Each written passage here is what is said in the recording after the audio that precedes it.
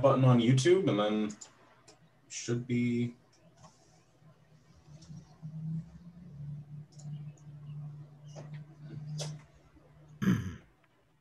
and just give me a thumbs up and we're good to go. Okay. Well, thanks everyone so much for joining us. I'm State Representative Jonathan Brostoff from the 19th District here in Wisconsin, and I really appreciate you being with us. Obviously, uh, this is a completely virtual kind of educational forum on qualified immunity. Um, and if things were normal, we'd be in the state capitol right now. But the nice thing about this is it gives the opportunity for a lot more people to view this session than we'd normally have. So it's a wonderful benefit to this. And uh, I want to just start off by thanking uh, everyone who helped make this happen um, and thanking our partners. Um, you know, first off, uh, all of our legislative partners, some of whom will be speaking today. Uh, I want to thank, um, well, uh, the Campaign to End Qualified Immunity, um, Ben and Jerry from Ben and Jerry's, uh, the uh, Institute for Justice, and the Cato Institute, which I never in my life, uh, especially as a big government Democrat, thought and those words would come out of my mouth. But it's, uh, I think, speaks to the importance of this issue and how much it crosses the ideological spectrum. That you can have a group like the Cato Institute and a you know Medicare for all type of big government Democrat like myself, both on board with this issue and. Um, you know that's that's what we're dealing with right now this is one that really crosses the crosses the spectrum and the nature of today's forum is going to be an opportunity to give a lot of uh, uh, education on a wildly important topic. Obviously, with everything going on, there's a lot of people looking for different policy solutions to end some of the grave injustices plaguing our society, especially when it comes to racial inequity. And qualified immunity for a lot of those people is at top of the list, um, including myself. And uh, we have a, a, master group of experts um, from a bunch of different fields who are going to be um, giving their insights and, and expressing their expertise today. There's also going to be an opportunity for questions and for um, members of the audience to uh, just ask whatever you know is uh, is of interest to you. And um, we also are going to hear from some folks directly affected, uh, including uh, Sylvia Gonzalez, um, who is with, um, she's a um, client of the Institute for Justice. And um, yeah, we just really appreciate everyone being here today. And I also just want to give a huge shout out to my staff, uh, Rebecca, and especially Michael, who went above and beyond to help put this together. It's a lot of work, incredibly complicated, and they did a great job of putting it together in a short amount of time. And without them, this would not have been possible. So thank you very much. Um, and with that, uh, I think it's time to get started for our program. Um, in Wisconsin right now, uh, like many states, we're looking at ending qualified immunity, and we've seen in uh, Colorado, we've seen in New Mexico and other states that are not only looking at this, but passing it already. And I think there's a lot of energy in, in the world right now for this in this country. Um, but it's also an issue that's incredibly misunderstood and very complicated. So we're going to be going over that today. And here in Wisconsin, we have AB 186, which is um, the kind of initial Wisconsin version on taking it on and, and tackling it here. And uh, we have uh, about 20 co-sponsors, which is a pretty good amount, but I'm hoping that after today, there'll be some more education and we have some of our colleagues who can look into it and again, start to address the uh, incredible um, injustices that continue to plague our state and our country. Um, with that, I'm going to um, kick it off to uh, our colleague who is also um, one of the leaders in the assembly on this. And uh, we're going to have uh, Representative Myers speak first, and then Representative Moore Omokunde, and then Senator uh, Senator LaTonya Johnson. We have two Senator Johnsons, but definitely uh, Senator LaTonya Johnson will be joining us as well. And then we're going to um, begin uh, the uh, program with um, Professor Baude, and Michael will take it from there. So, Representative Myers, the floor is yours. If you'd like to speak on your your opinions, and thank you very much for joining us. Absolutely. Thank you so much, Representative Brostoff, and thank you for all of you that are joining here today. Um, qualified immunity is something that I'm very passionate about in making sure that we rectify uh, this aspect of law in our state. I think, uh, you know, Representative Brostoff has been a, a champion and a good leader on this issue. I'm happy that we were able to come to the table together and work on this particular piece of legislation to make sure that we kind of right the wrongs that uh, we see within some of our statutes and our policies. I also want to point out that qualified immunity is something, and ending qualified immunity is something that is a bipartisan issue. So when you look at a lot of, excuse me, the st- statistics that have come out, um, you know, in white papers and, and from think tanks across the country, you will see that this is something that is truly a bipartisan effort. It is not just a single party issue. This is something that is good people policy. That's exactly what it is. So making sure that we have responsibility that is taken on both sides. Um, you know, maybe I'm not as fiery as Representative Brostoff sometimes when he talks about, you know, some of the equity issues that we have. But I want to say that this is most definitely something that is an equity issue for me um, and making sure that we have uh, responsibility and accountability on all fronts. I think that's something that we have to have. I'm a champion of accountability for everybody. You know, I get on people in my own party all the time. Uh, have no problem with that. We hold everybody accountable. Um, but I want to make sure that we do the right thing by people.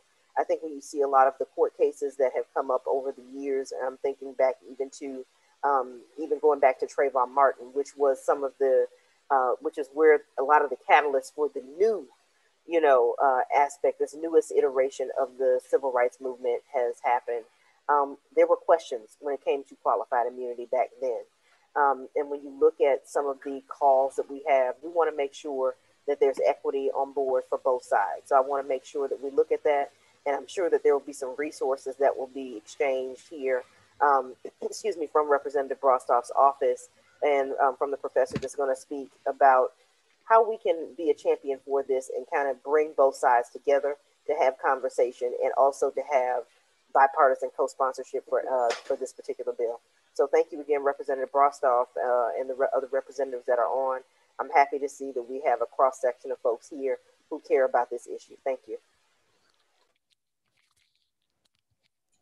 Thank you very much. And uh, yeah, if you uh, I'm actually not in the state capitol right now, despite my background. I'm at home, so if you see my little guys running across the screen, that's what's going on in the background.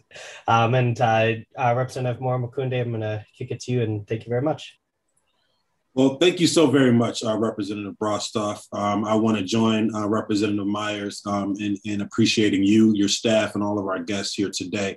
Uh, I think uh, for myself, qualified immunity, there's a lot of Supreme Court cases, and I'm sure that some of our professors and our professionals will talk about those and what happened in 1981 and 1982, which brings us to this point um, that we're at now. However, I think most importantly for everyday lay folks, um, qualified immunity is important because uh, we have to make sure that we are taking things into, into consideration when we do our jobs um, specifically as it relates to law enforcement. When we go into um, certain communities, when we go into certain areas, we have to have on our mind doing our job and doing it in, effectively and having the dignity um, for those that we are serving at that particular time as well, and making sure that we aren't overstepping our bounds, overstepping the lines, and also that we aren't creating a habit of doing so as well. That there is some degree of accountability so that if there is any degree of uh, impropriety that it's nipped in the bud. And so I think that one of the most important things about qualified immunity is making sure that no matter who you are, no matter what you do, uh, you're going to be held accountable. And, um, and, and, at, and at the very least, it will give you pause to make you think about what it is that you're, you're going to be doing. Like I said, I don't want to steal the thunder from uh, uh, our guests here today. However, uh, they were going they're going to go into the weeds a little bit more about what we're going to be talking about because I could just go into the all the cases that we have. However, I'll leave that leave that up to the experts. Thank you so much, uh, and I'm glad to be a part of this, and I'm glad to be on this bill with you, Representative Brostoff and Representative Myers. Thank you, um, and uh, yeah, like I said, Representative Myers and uh, Moore Omokunde have both been huge leaders uh, on, on this, as well as a lot of other civil rights issues that are facing Wisconsin today. Um, I got a text from uh, Senator uh, LaTonya Johnson, and we're having a couple logistical issues, so we might um, just uh, go ahead and move on, and we'll see uh, if she's going to be joining us a little bit later. But that being said, uh, I think it's time that we should move to our first presenter. Um, we're going to have uh, Professor William Baude joining us, um, and I, like I said, there's an opportunity for anyone who has any questions. This is an educational legislative briefing above all else. So we want to make sure that any questions you have, uh, feel free to um, ask, and uh, you know he'll he'll be here. Oh, I'm sorry, we do have uh, Senator Johnson joining us. Sorry, before the professor, uh, Senator will be speaking, and then we'll kick it to Professor Baude, um, and as well as a question answer section. So, uh, Senator Johnson, welcome, and thank you very much. Thank you so much, and thank you for doing this. We all know that qualified immunity um, is a very, very um, controversial topic for some, but a very needed topic in our communities. I'll just speak for Milwaukee, for example. Milwaukee has a $1.6 billion budget. 300 million of that is slated just for police.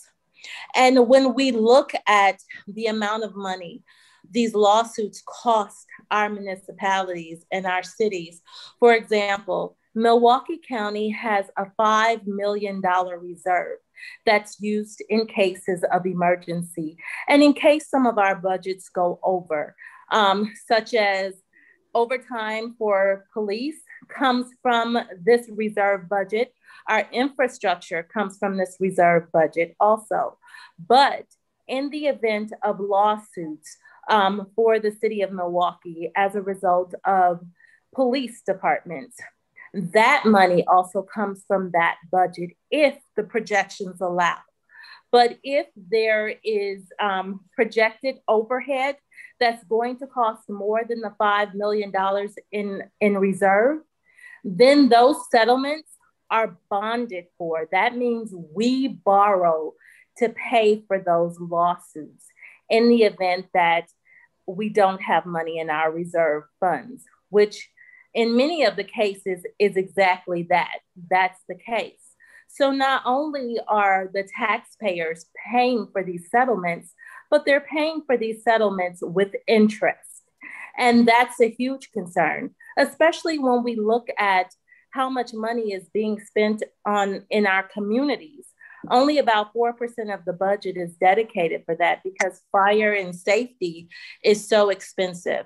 So, making sure that we can find ways to, um, to um, deal with um, qualified immunity and protect the pa- taxpayers is of extreme concern.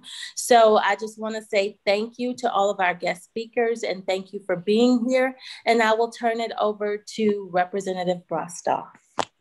Thank you, Senator Johnson. And uh, yeah, it's can yeah, I think that's a really good way to frame it. And that one of the big issues with qualified immunity is that the municipality gets hit, you know, gets traumatized from the event, from someone suffering at, you know, let's say police brutality, you know, killing or beating or something that nature. But then there's kind of a further burden they must bear when having to pay out these settlements. And in Milwaukee, it's a as Senator Johnson said, a pretty significant uh, portion, but I think that's that's not unique to Milwaukee. I think that's the case in a lot of areas, and that's a, that's a really good point. I just want to reemphasize that. And with that, we're going to go to uh, our uh, distinguished professor, Professor Baude, and uh, also former law clerk uh, recently for uh, Justice Roberts. Um, so very distinguished, you know, thought leader on qualified immunity across the country um, a lot of great articles if you're interested in reading some some follow up from him. But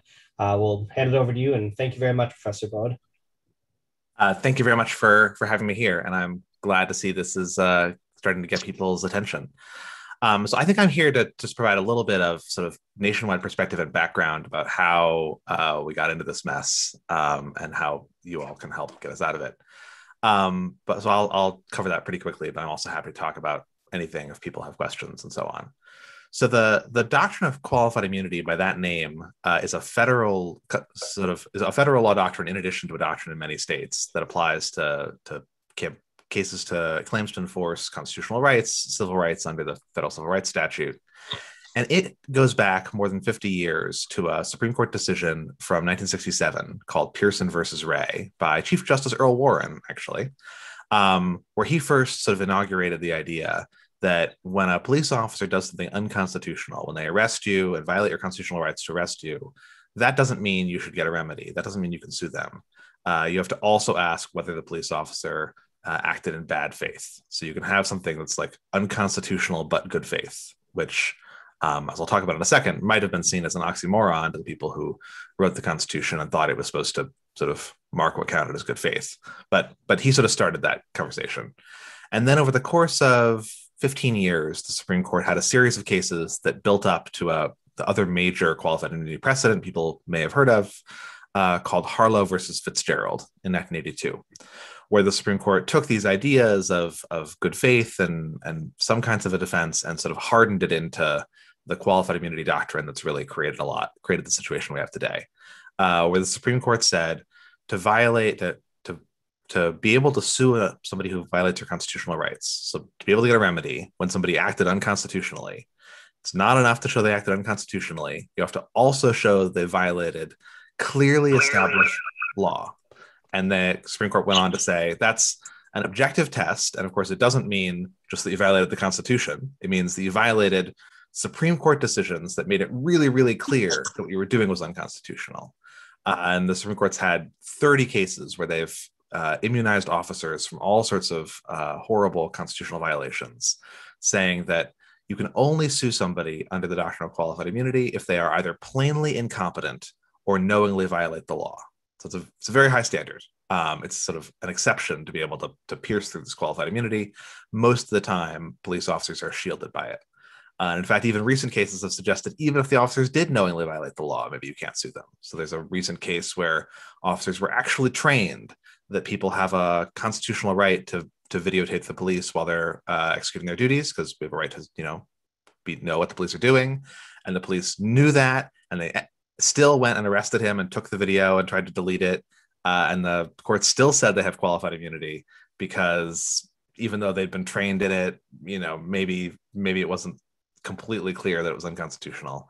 Uh, so it's just it's just built up as this huge uh, shield uh, against against constitutional claims.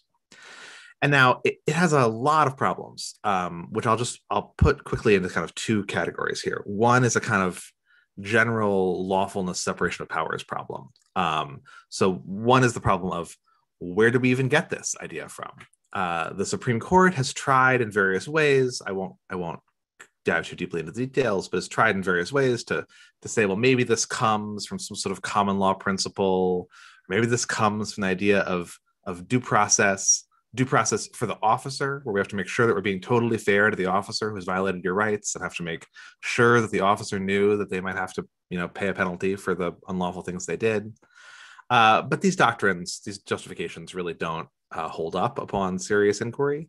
Um, in fact, if you look uh, at sort of the founding or at the common law or sort of the long history of the country, the general principle has actually been that when people who enforce the law violate the law, they're supposed to pay the price. So we do have special immunities built into the system for judges because, of course, if you're unsatisfied with the judicial ruling, you're supposed to appeal it. You don't go suing the judge. Same thing for legislators. So if you're unsatisfied with the law, you're supposed to challenge that in the courts in the normal course of events.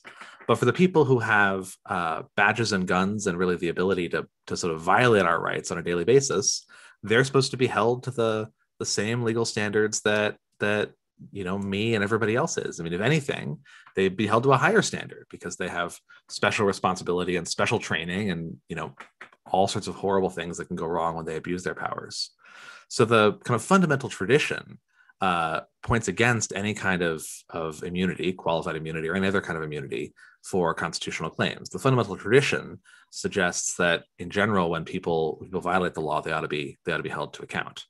And the Supreme Court has kind of had this strange detour for about 50 years in trying to, to create an immunity that really didn't have any place in the Constitution, didn't have any place in, in federal statutory law. It's kind of a form of, of judge made common law, although the Supreme Court wouldn't admit that's what it's doing, but that's that's essentially what they've done. Now, this doctrine, I think everything I've said would have been uh, heretical for me to say even five years ago. Uh, but luckily, in the past few years, uh, a sort of a nationwide conversation has started recognizing this, recognizing that something has gone wrong in the doctrine of qualified immunity, that it's not just some some rule that's been there forever and people learned about in law school 100 years ago so we just kind of live with it you know like weird things about mortgages but it's that's really something sort of unusual to the law um, so some Supreme Court justices have started to criticize it. Uh, members of Congress have started to, to question it and consider repealing it. Um, as the representative mentioned, several states started to take the lead in in questioning it and and looking back at it. And so now it's it's time for the sort of the nationwide conversation about how we want to enforce the Constitution and more fundamentally, really, about whether the rule of law um, applies to applies to police officers. Now, one piece of good news is that in Wisconsin itself, the courts have actually been a little more cognizant of their role than the US Supreme Court. So they have been a little more uh, cognizant about saying the responsibility for these immunity doctrines lies with the legislature. It's not our place to invent immunity doctrines that that weren't there, that, that the legislature didn't want there. That you know, it's not trying to do the same kind of uh, shenanigans, frankly, that the U.S. Supreme Court and the federal courts have done. Um, but of course, that means the responsibility is with the legislature to look at the systems of immunities that have arisen and ask whether that creates a system of law enforcement or rights protection that uh, that makes any sense. And, and I guess I, I, you know, I do want to lend my voice here to say I think something, you know, does need to be done. Um, that the the basic idea that the people who have the ability to enforce the law and are bound by higher law, by the state constitution, by the federal constitution, shouldn't have some kind of remedy when, when they do something wrong is sort of contrary to the first principles of American government that uh, every right has a remedy, that the people who sort of take a public trust from the state take on some responsibility to ex- exercise that uh, exercise that responsibly. Um, and so I think it's you know very important, very good that we're that we're thinking about these kinds of of reforms here. Uh, I guess just two other things I want to I want to mention, and then we have a lot of other people who want have things to say. So again, I'm cognizant of keeping my mouth shut and moving on. Uh, but two other things to mention is, you know, this doesn't mean, I, I guess, you know, a, a, question I often hear, something that often comes up is sort of, you know, why do you hate police officers or why don't you understand that that it's a really hard job that police officers have? And so I want to be very clear. I don't think this is in any way about hostility to uh, the police or frankly about abolishing the police or other things people sometimes talk about.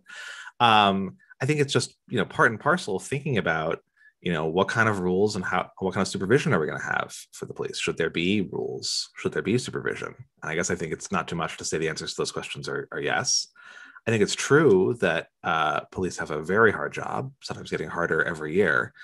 Um, and i just think we don't do them any favors by creating a bunch of rules and then telling them we don't actually care whether they follow them i think we ought to think carefully about what rules we want police to follow, and then we ought to make them follow them in a sort of straightforward way. And that's sort of showing a lot more respect to to everybody involved in the process.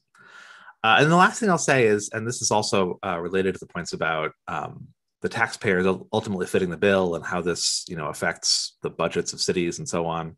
So I do think this also has to be part of a larger conversation. Um, so it's inevitable that that when there are judgments, some of the um, one way or another. Uh, the officers aren't always the ones who end up paying them. Uh, sometimes they're indemnified by law, even when indemnification is not available by law. Sometimes it happens in practice. Even when it can't happen in practice, it ends up happening in terms of the higher wages. You have to pay people to become police officers. So it's true that when there are big verdicts uh, for big abuses against government officials, uh, often the taxpayers end up do end up paying directly or indirectly. But what that means is that we have a responsibility to think about supervising the police more broadly. So, you know, my city, the city of Chicago, has a similar has a similar issue. And one thing people are starting to recognize is, uh, you know, people in the city need to need to push for legislation and, frankly, work for ways to enforce it to actually start curbing the abuses. That is, it's not enough to just let police violate people's rights and then say, "Oh well, we'll let them sue," and and you know, that's a happy ending. It's not a happy ending. Uh, the happy ending is when we set up a system where there are incentives and institutions to help make sure the police uh, obey the Constitution and obey the highest law of the land. Uh, and then, you know, they do. Thank you.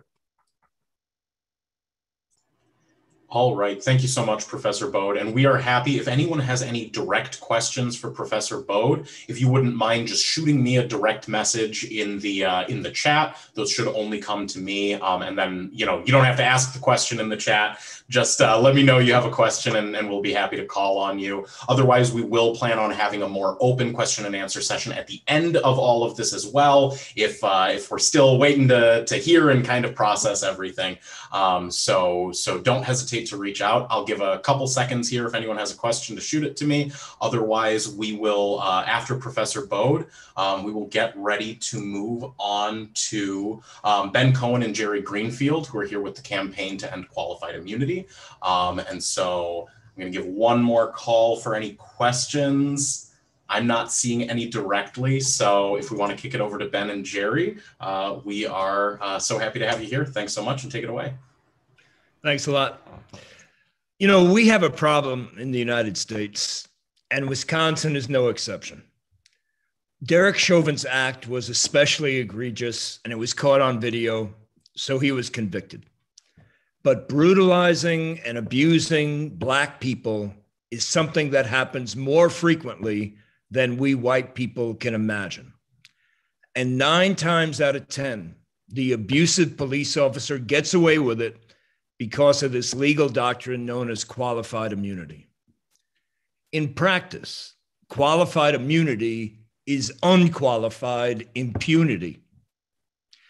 The theory behind qualified immunity is that law enforcement officers are not expected to know the law unless another cop has previously been convicted of violating it. For you and me, ignorance of the law is no excuse. Not so for cops. If I haul off and punch you in the face, you can sue me. But if a cop did it, here's what'll happen. You'll say, I didn't do anything wrong. This cop abused me.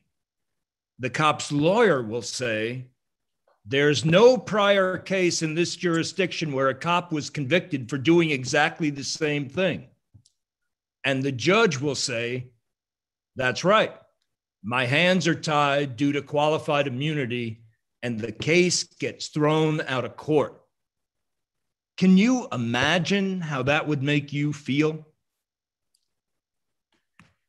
Jerry and I are here in our role as co chairs of the national campaign to end qualified immunity. We are a broad coalition of over 16 national organizations, from Americans for Prosperity and Cato to the ACLU and the NAACP. We include thousands of former police officers and commanders, business people, actors, musicians, professional athletes, and members of Congress. This campaign is not anti cop. We understand that the majority of police officers do a good job in difficult circumstances, and many go above and beyond the call of duty. This campaign is about accountability. As employers, Jerry and I know that if you ain't got accountability, you ain't got nothing. If you don't hold your employees accountable, you don't get the results you're looking for. It is accountability on the back end that drives behavior on the front end. You can do all the training and pass all the rules and regulations you want. But if you don't hold cops accountable, you're not going to change behaviors. Let me give you a few examples that didn't make it to TV. A young black man, David Collie, was walking to a friend's house after work. Two F duty cops heard a radio report about two men who had stolen a pair of sneakers. David didn't fit the, the description, but the officers saw him, yelled out, Hey, where are you going? David pointed to his friend's apartment and the cops shot him in the back five seconds after they first saw him. Then the cops falsified their report and said David assaulted them. Eventually, police were forced to release dash cam footage that exposed what the cops had done. David is paralyzed for life from the chest down. The cops got off on qualified immunity. Cary Ilitch, another young black man, was in a mental health crisis. He was unarmed, wandering the streets, visibly unstable, naked, and covered in scratches. Police arrived and asked him to stop walking. Cary did not comply, so the officers tased him until he collapsed on the ground. He was face down, convulsing on the concrete, and one of the officers tased him 13 more times. A 300 pound officer knelt on Cary's upper back, crushing his lungs until blood and froth came from his mouth. He was pronounced DOA at the hospital. They treated him like an animal, said his mother. The judge let the cops off on qualified immunity. Malaika Brooks, a 33 year old black woman, was driving her young son to school when a cop pulled her over for allegedly going 12 miles over the limit and wrote out a speeding ticket. Malika took the ticket but refused to sign it because she thought it was an admission of guilt. The officer yelled for her to get out of the car and showed her his taser. Do you know what this is? Malika told the officer that she was pregnant and due in 60 days. The cops tased her three times, 50,000 volts in the neck, thigh, and arm as her 11 year old son watched. She slumped over. The cops dragged her out of the car and handcuffed her face down on the street. She was rushed to the hospital with a rapid heartbeat. Luckily, her baby was born healthy. The cops got off on qualified immunity. This is not a black problem. This is a white problem. White people hold the power in this country. And the people that we arm and hire to protect and serve are killing unarmed black people before our very eyes, and we're letting them get away with it. You have the power to change it. Thank you, Ben. Uh, let me pick up where Ben left off. Uh, as Ben described, there's an urgent need for police reform. Every day, we read about police violence and police brutality in the newspaper. We see it on television. We see it online. Trust has eroded, if not fully disappeared, between law enforcement and the communities they serve. The status quo does not work. Ending qualified immunity is not anti police. And you'll hear everybody here today say that over and over. It is pro good policing. It's about accountability for police and justice for the victims whose constitutional rights have been violated. The only people that qualified immunity helps are bad cops there's a movement in states and cities across the country to end qualified immunity because it is such a critical issue. In the last year, qualified immunity has been ended or limited in Colorado, New Mexico, Connecticut, Massachusetts, and New York City. There are bills and discussions in about a dozen more states. Why? Because the status quo does not work. For states and legislatures to do nothing does not work. So, who's against qualified immunity? As you might imagine, it's the police and some municipalities. The reason is that both groups don't want to be held accountable legally and financially when law enforcement doesn't follow the law. And let's be clear, we're talking about egregious acts of violence and brutality, the ones we're all reading about. What are the objections from police? Well, first, we're told that the immunity is already weak, that it's qualified. But in practice, qualified immunity protections are almost absolute. And not only that, there should be no form of immunity when an officer commits an egregious act of excessive force, not even an immunity that's qualified. Then we're told that split second decisions need to be made without hesitation on the job. Well, we agree that officers should not have to think about lawsuits in their day to day work. But police already have strong constitutional protections without qualified immunity. They don't need to worry about it. Well, how about the idea that qualified immunity will drive people away from policing and cause massive retirements? Well, recent studies show that police have been driven away more by the community turning on them than by the possibility they might lose an obscure legal protection. Without rebuilding trust and respect in communities, recruitment will remain extremely difficult. And the best way to rebuild trust is to put real accountability measures in place, including ending qualified immunity. There is no doubt that law enforcement will be very vocal about their objections. They like not having accountability. And I understand that, but qualified immunity is a fundamentally unfair and unjust policy. After New York City ended qualified immunity, the Police Benevolent Association sent a letter to its members advising them, quote, you are strongly cautioned against engaging in any stop and frisk unless doing so for your own or others' safety search of a car, residence, or person unless you are certain that you are clearly and unequivocally within the bounds of law. Unquote. I mean, they're essentially telling the police they have to stay within the bounds of the law.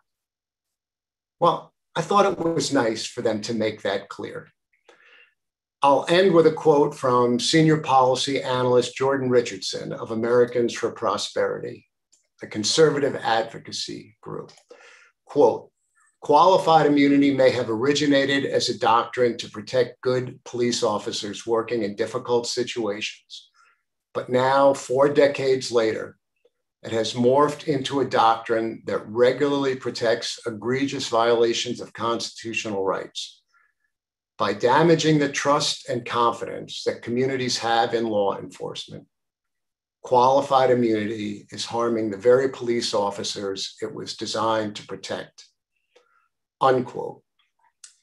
Uh, if you guys would like more information about the campaign to end qualified immunity, you can visit the website holdcopsaccountable.org. In addition, uh, a resource Ben has recently authored a book above the law how qualified immunity protects violent police. Uh, thank you so much for having us.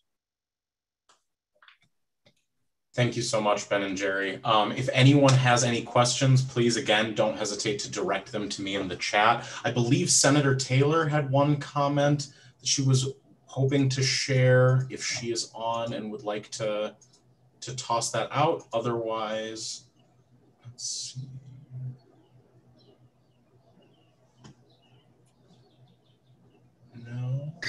I was just asking for him to re. Thank you so much. I'm sorry. I was just asking him to repeat. Um, he said a catchy phrase that I wanted to uh, remember, and I can't remember it.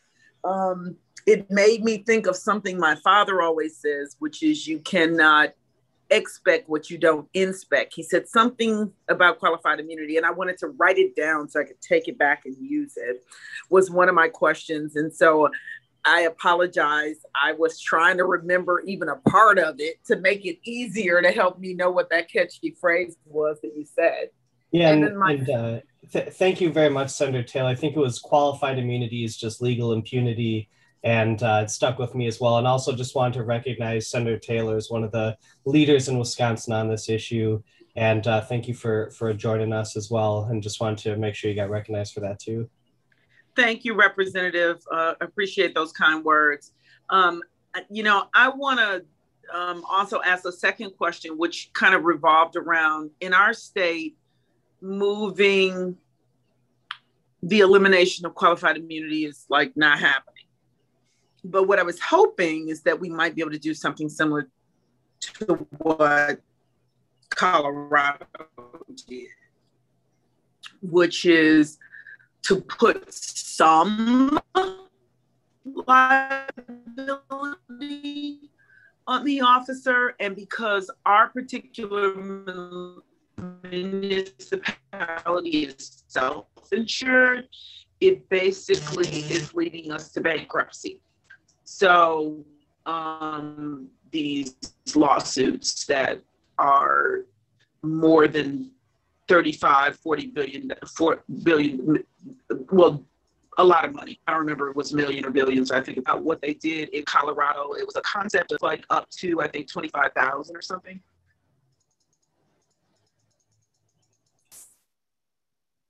Yeah, and um, part of that question cut out a little bit, Senator Taylor, because of some logistical issues. Uh, but um, yeah, I think I think Do it's. you need me to repeat it? Sorry, say, say it one more time. Do you need me to repeat it? Uh, sure. Short answer is the question about qualified immunity that was done differently in, I believe, Colorado that allowed for a portion of liability to fall on the officer. I want to say up to 25,000 because I don't believe, I know we won't, I've been asking since I've done the police reform bills that I was able to get for something different with qualified immunity and haven't been able to get agreement on that. So I'm wondering if you could tell us about what they did in Colorado and whether or not you're finding that that is a better first step for places that are really against movement.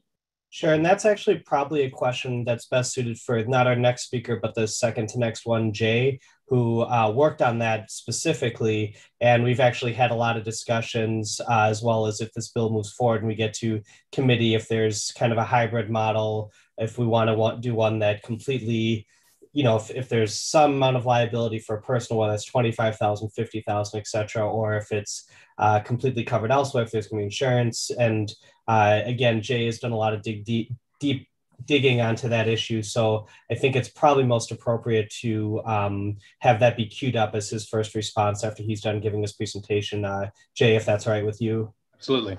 Okay. Um, so very good questions, uh, Senator uh, Taylor. And yes, that's something we've we've definitely need to explore and we've been around the block on and uh, um, you know and, and also i just wanted to mention that i've gotten a couple messages that there's some people having issues with their questions. So if you have any questions or comments you can also just shoot us an email and we'll make sure it goes through that way if, if it's not going through elsewhere. So apologize for that. And uh, um, yeah, next up, we're going to be joined by um, Officer Terry Blevins, uh, who was able to join us. I know we had a couple of logistical issues, but very much appreciate uh, his his work on this and him being here with us. And uh, um, we'll go right from there and keep moving. And thank you very much, Officer Blevins. Thank you, Representative Brostoff, uh, and uh, you know other esteemed folks that are on this call. I we appreciate you allowing uh, LEAP, Law Enforcement Action Partnership, and me to, you know, to add our voices to this discussion.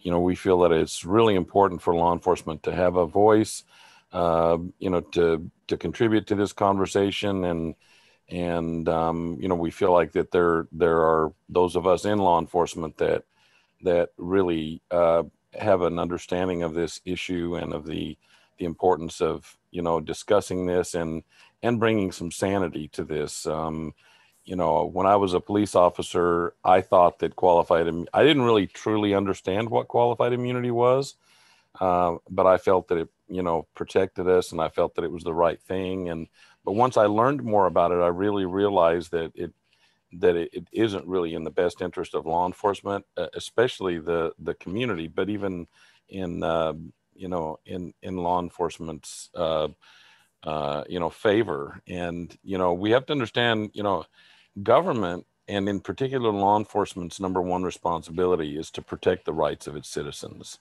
And uh, today it's clear that police departments are only as strong and effective as its personnel.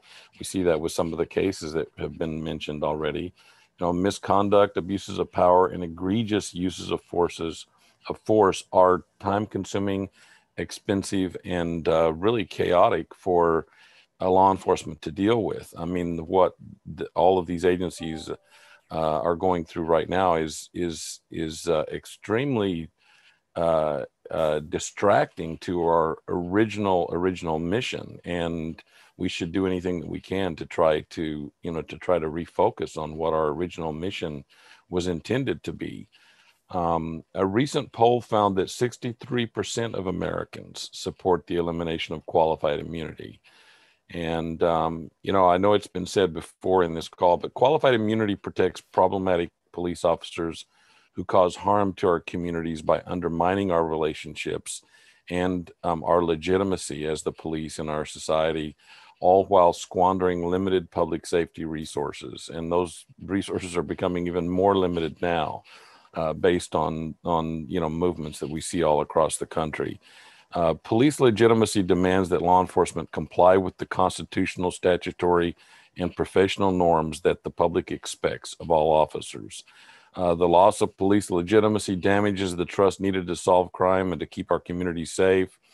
Uh, in a free society, law enforcement requires integrity, accountability, and transparency. Qualified immunity, as we know it, instead promotes fear, distrust, and anger when victims of misconduct are unable to hold bad actors accountable for violations of the law and their constitutional rights. Qualified immunity perpetuates and magnifies this issue. As a career police officer myself, and uh, I was a, a union member uh, as well, uh, my job was more difficult because of qualified immunity.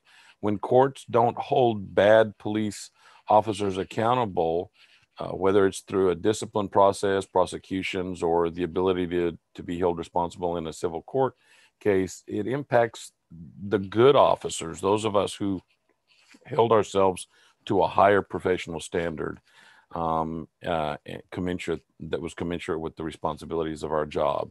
Uh, police officers who are acting lawfully and within the scope of authority do not need to fear the end of qualified immunity. In fact, good officers should and many do welcome this proposal because it will help victims and strengthen legitimacy, legitimacy of the police profession. And I'll just I'll just finish with this. And I know I, I I'll take the liberty. I'm sorry, Jerry, of disagreeing with you slightly on one point. You know, you said that police officers shouldn't have to worry about uh, about being sued, and, and, and I actually disagree with that. I, I I own a business now, and I train all of my employees to worry about lawsuits every single day. The rest of us have to do that in business, in government. We all, you know, have to worry about lawsuits because it's one of the mechanisms in our society that keeps us honest. And so police officers, although it shouldn't be something that consumes them or that that stresses them out unduly, but they should constantly be aware of the fact that there is a potential for being sued for certain actions that don't fall within the law. And that's something that, that police officers need to have in mind. And that's one of the things that we, Law Enforcement Action Partnership, we're working actively to try to train police officers and to help them understand how uh, qualified immunity uh, does not help their them in their profession or in their job. So thank you again for allowing us to add our voice to this discussion and thank you for doing the work that you're doing on this particular issue. Thank you so much, Sergeant Blevins. Does anyone have any questions for the Sergeant directly? Otherwise, we will go ahead and queue up uh, Jay Senator Schweikert. Taylor, oh, I have one. Yep, go for it, Senator Taylor. Are you doing any work going out informing individuals who are law enforcement, especially those that are law enforcement who also happen to be legislators, asking for a friend? Because because all of our chairs of committee are law enforcement, former law enforcement that would be dealing with these issues on their committee and are pretty much um, not saying what you're saying. So I'm wondering, can you go and talk to your brotherhood? well, uh, thank you for the question. and you know, you're absolutely right. And and you know, Law Enforcement Action Partnership is really the only organization of its kind in the United States, unfortunately, that is made up of law enforcement officers, prosecutors, and judges, people who former uh, uh, were formerly serving and currently serving. And since the death of George Floyd, we've had an explosion in membership Uh, we've been very, very fortunate about that. But there are more and more police officers who who are getting involved in this discussion and actually coming out and and making sense about these issues. Um, and so we do everything we can to try to recruit these officers and to try to to train them to also go out and speak about these things. And and we do everything that we can to try to to make ourselves available to these discussions. So um, yeah, we're actively doing everything we can, but we're not a big organization, you know, and there are some people that don't want to support a, an organization of law enforcement officers. I get it because of everything that's going on right now. But the reality is that, you know, it just, if you get a chance, go to our lips, uh, our website. It's uh, leap.cc, Law Enforcement Action Partnership, and you'll see that we're really, really taking a logical uh, and and common sense, but yet uh, you know, very open-minded uh, sort of a view of these things, and and really trying to just reform law enforcement uh, uh, on on every level. So um, yes, thank you for. I hope I answered your question.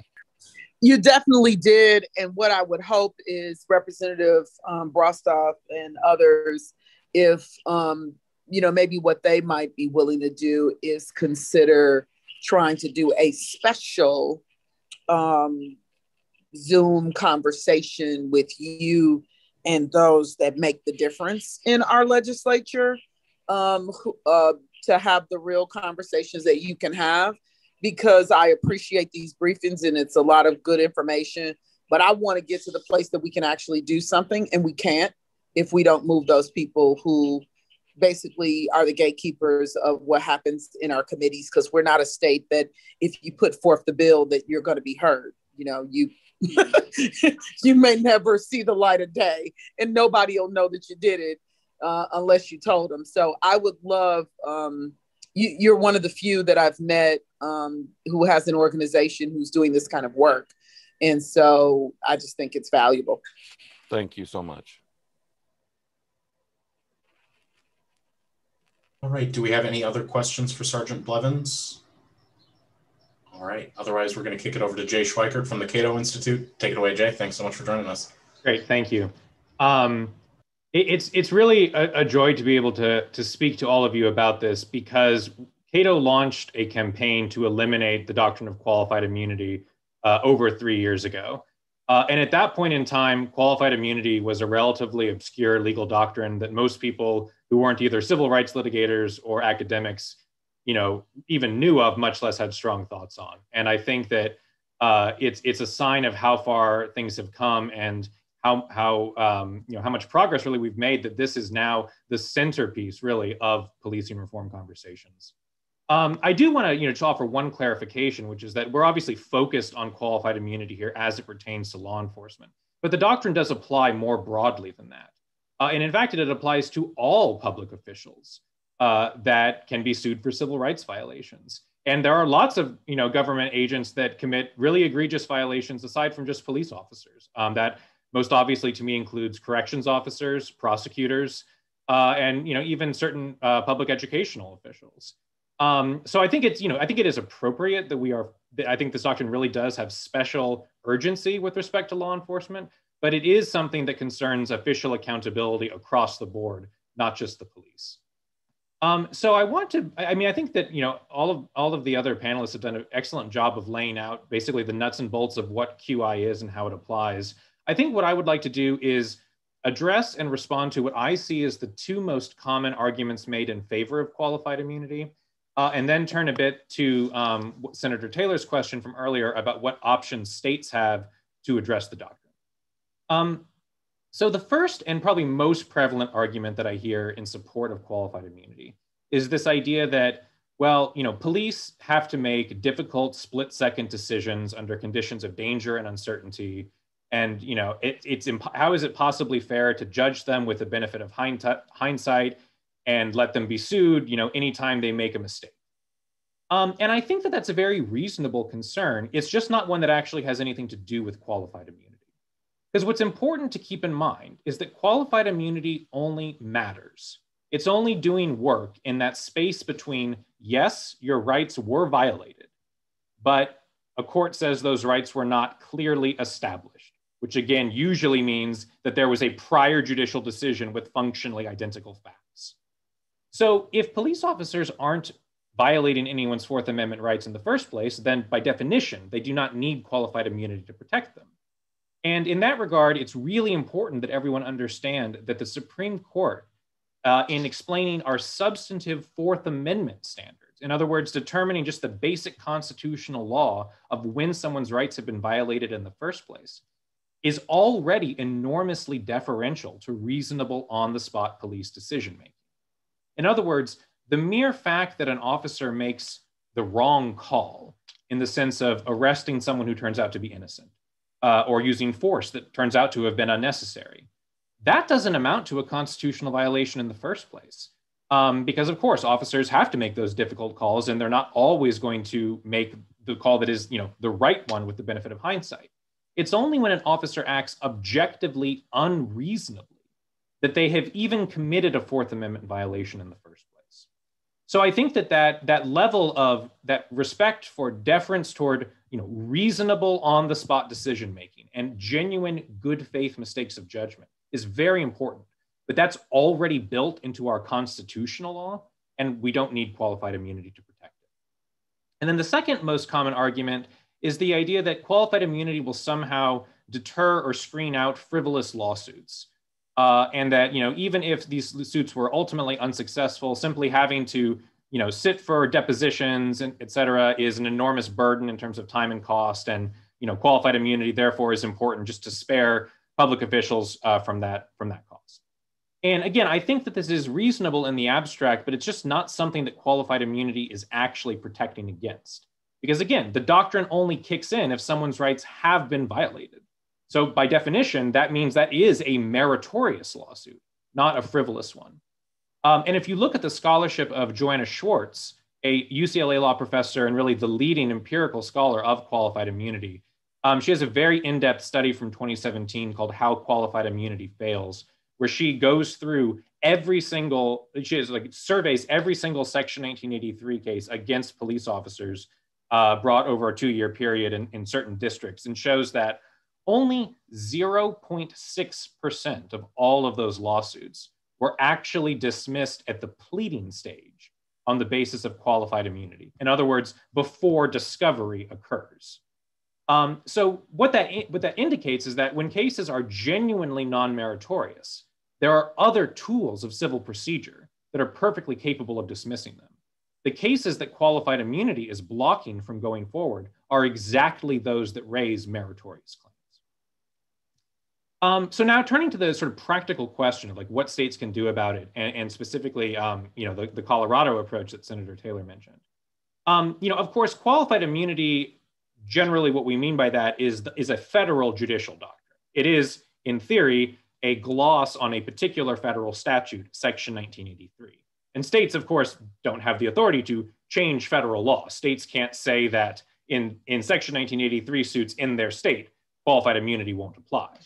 But what states can do, and what states have been doing, and what we mean really by qualified immunity reform in, at the state level, is states can create a state level civil rights law that essentially is a kind of analog to our federal civil rights law, Section 1983. And then states can clarify that as a matter of state law, qualified immunity will not be available as a defense. And that's exactly what Colorado did. Uh, they created a cause of action against police officers who violate people's constitutional rights. And then they said, you know, qualified immunity will not apply. So, from the victim's perspective, if their rights were violated, they get a remedy, period. And I think that is exactly that is the judgment that Section 1983 was written to provide, but which qualified immunity has undermined. Now, I think the other important question here that is a bit more complicated goes to this issue of indemnification. Um, as many of you are probably aware, even today, police officers are nearly always indemnified in any civil rights suit against them, whether or not they receive qualified immunity.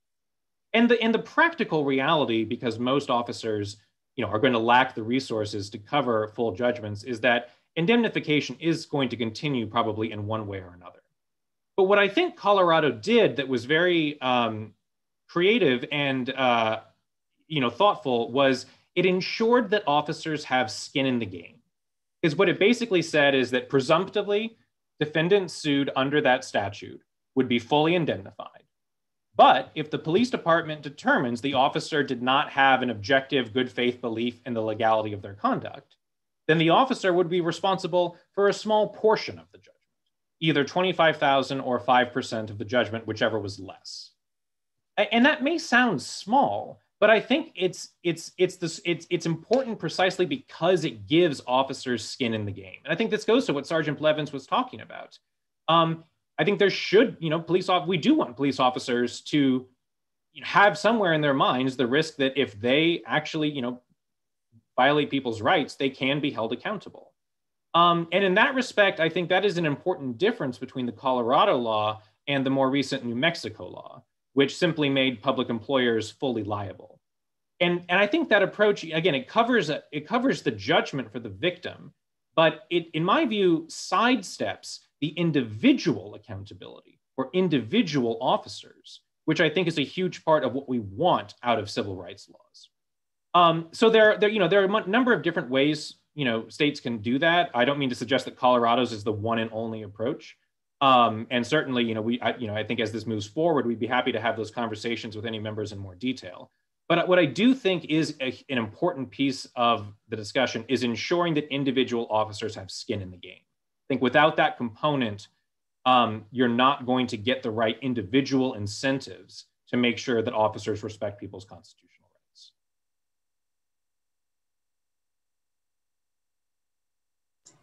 Excellent. Thanks so much, Jay. Um, does anyone have any questions specifically for Jay? Um, okay, it looks like we have one from Representative Moore Omokunde who might want to, if you want to uh, chime in here, Representative. Sure. Uh, there has been a lot of conversation um, about absolute versus qualified immunity. And I'm wondering if you could uh, make a distinction between the two and how that relates to our everyday interactions with law enforcement. Sure. So, um, sure. So, you know, it, qualified immunity is a is a general defense that's available to any public official sued under Section 1983, our federal civil rights statute. So, any any public official, you know, prison corrections officers, police officers, uh, public, you know, educational officials, city council members, et cetera, can invoke qualified immunity. Um, the Supreme Court has also, in my view, invented erroneously a doctrine of absolute immunity for prosecutors uh, and held that prosecutors, when they are acting in their prosecutorial capacity, are absolutely immune for any civil rights suit against them, even if they committed a willful constitutional violation.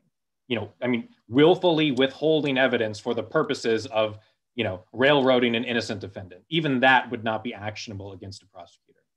Um, so I think that's that's an enormously serious problem in its own right. Um, I mean, we have been more focused on qualified immunity in our advocacy just because we think it's it's a larger problem that applies to more public officials. Uh, but I think the absolute immunity that prosecutors enjoy is just as lawless in terms of an invented judicial doctrine that has no basis in the text or history uh, of our civil rights law uh, and that I think it, you know it would be you know valuable and important for states to take up in their own right to ensure that we have accountability uh, for the criminal adjudication phase of the criminal justice system as well as the policing stage. So it's kind of like when we had the the Central Park Five, and when they went to uh, seek justice from the prosecutor who actually uh, blocked newer evidence or or didn't show that these five young men were not even in the area uh, during that time. Uh, they were not able to get any recourse because of this doctrine. That's right. Yeah. No matter how egregious or willful or obvious a constitutional violation by a prosecutor, they can never be held civilly liable to their victims. And I just think, I mean, I don't, I don't think anyone even purports to try to defend that. I can't imagine what a defense of that would be but uh, it's it's it flies under the radar just because it doesn't come up as often as qualified immunity. But yeah, it's it's a it's a significant issue in its own right. Thank you. Did we have any other questions for Jay? May I build on um, a question that came from Representative uh, Moore Omokunde's um, questioning? Wonderful, thank you. Um, so in thinking about that, it made in hearing that, it made me realize that we did do something in Wisconsin that did deal with qualified immunity. I want to say that Senator Testin, I don't remember who was on it. Uh, I can't remember it, and it's funny because Senator Testin couldn't even remember it. I've got shows you how much we remember all of the stuff we do. I'm going to go back and look at that because it did not address law enforcement because I remember, you know, like trying to see if there was a connection in that regard. Um, but I want to go back and look at that in the lens of what you are saying and talking about. So, Representative Brostoff, you, that means that once I go back and look at it, somebody's going to have to help us to connect so I can even remember kind of what he just said. Okay, thank you. Yeah, that sounds great. And I'll, you know, we've we've talked about this, um, you know, one on one. And I'm happy to continue the conversation and always looking for more opportunities, especially, like I said, I mean, this is certainly, uh, as Representative Myers pointed out, not a uh, strictly partisan issue. Obviously, we've seen the states where this is passing and the zeitgeist around the country. Um, there's actually, and as represented by even the presenters on this call, uh, or on this this this educational opportunity, that you know this really crosses the ideological spectrum and there's people who uh, recognize on the far left you know middle left middle right far right how wildly important um, you know the, this uh, you know moving forward with this policy is. And and there might be some different ideas around you know absolute indemnity partial indemnity you know not you know there's different ways to cut it but i think that uh, yeah, you're you know you're right. There's a lot in the details, and I would hope that Senator Testin, if you're watching, you know, I have to continue conversation with you as well. But any of our Republican colleagues who are on right now or staff, uh, we're happy to keep it moving. So yes, absolutely, and thank you for bringing that up, Senator Taylor. Wonderful, wonderful. I, I look forward to that because you're, um, you know, right, Representative Myers and I have approached it from a slightly, you know, different approach, trying to find right that that synergy around a way that it may uh, move people because when it was done before, it wasn't something that was being thought about. It was strictly being thought about, presented, probably not even crossing their mind that it connected to law enforcement because they were thinking about it only in the way of I want to say state employees or something like that. So um, I look forward to circling back and helping them to see the intersection and then seeing where we can, you know, where we can all meet, meet in the middle where the work is done. Great. And um, I know, uh, you know, we've got quite a few questions queued up for the general uh, segment of Q&A. Um, so with that, uh, I wanted to say thank you very much, Jay. And uh, we know that you'll probably, some of those questions are going to go to you directly as well, it looks like, but appreciate your insight. And I think we need to move to our last two speak speakers before the general Q&A, uh, which is attorney Anya Bidwell and her client Sylvia Gonzalez uh, with the Institute for Justice. Um, and, you know, it's funny, I have a long history with the organization and normally, especially in committee, we're kind of on the opposite side of the spectrum, but today we're coming together on this important subject and, uh, you know, making sure that we can get the information out there with some firsthand account of someone who's directly involved. And so we really appreciate um, Anya and her organization for bringing that to the forefront and, and as well as their important work on this issue. Thank you for having us. Very happy to be on the same, same side of issue with you today. Um, so uh, I'm an attorney with IJ and Sylvia Gonzalez. Uh, Sylvia, wave your hand.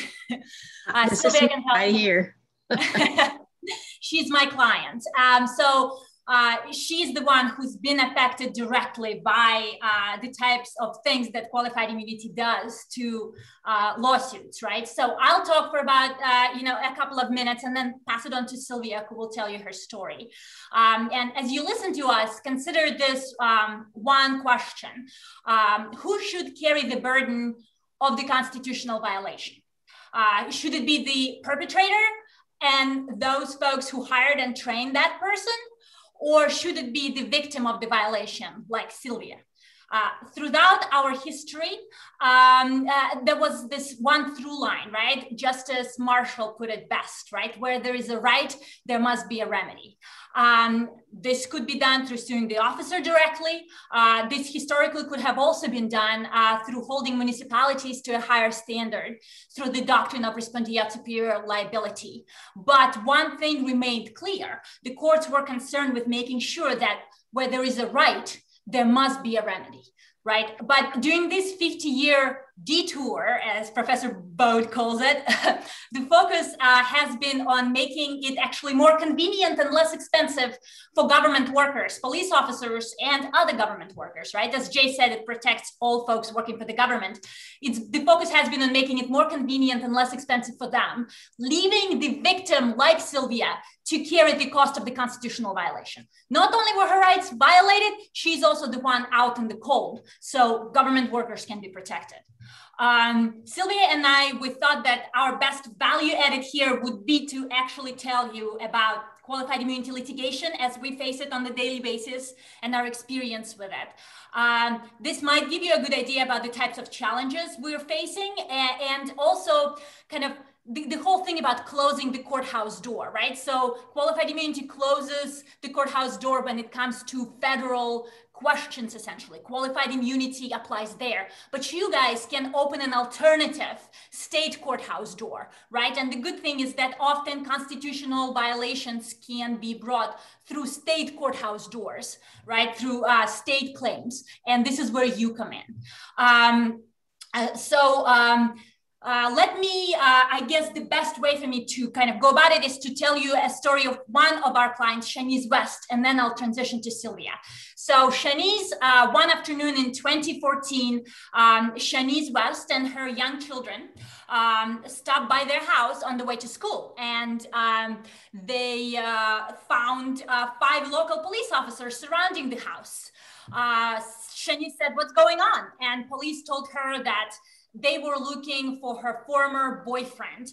Um, and um, there was a warrant for his arrest uh, on some weapon charges completely unrelated to what Shaniz was doing. It was her former boyfriend, right? Um, and Shaniz basically said that the guy certainly is not in her house. But she said, here's the key, right? If you want to come into my house and look for him, you're more than welcome to.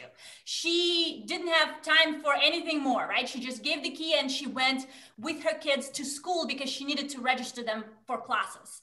So, uh, police officers, instead of using this key she gave them, right, to open the door and look for the guy, called a SWAT unit.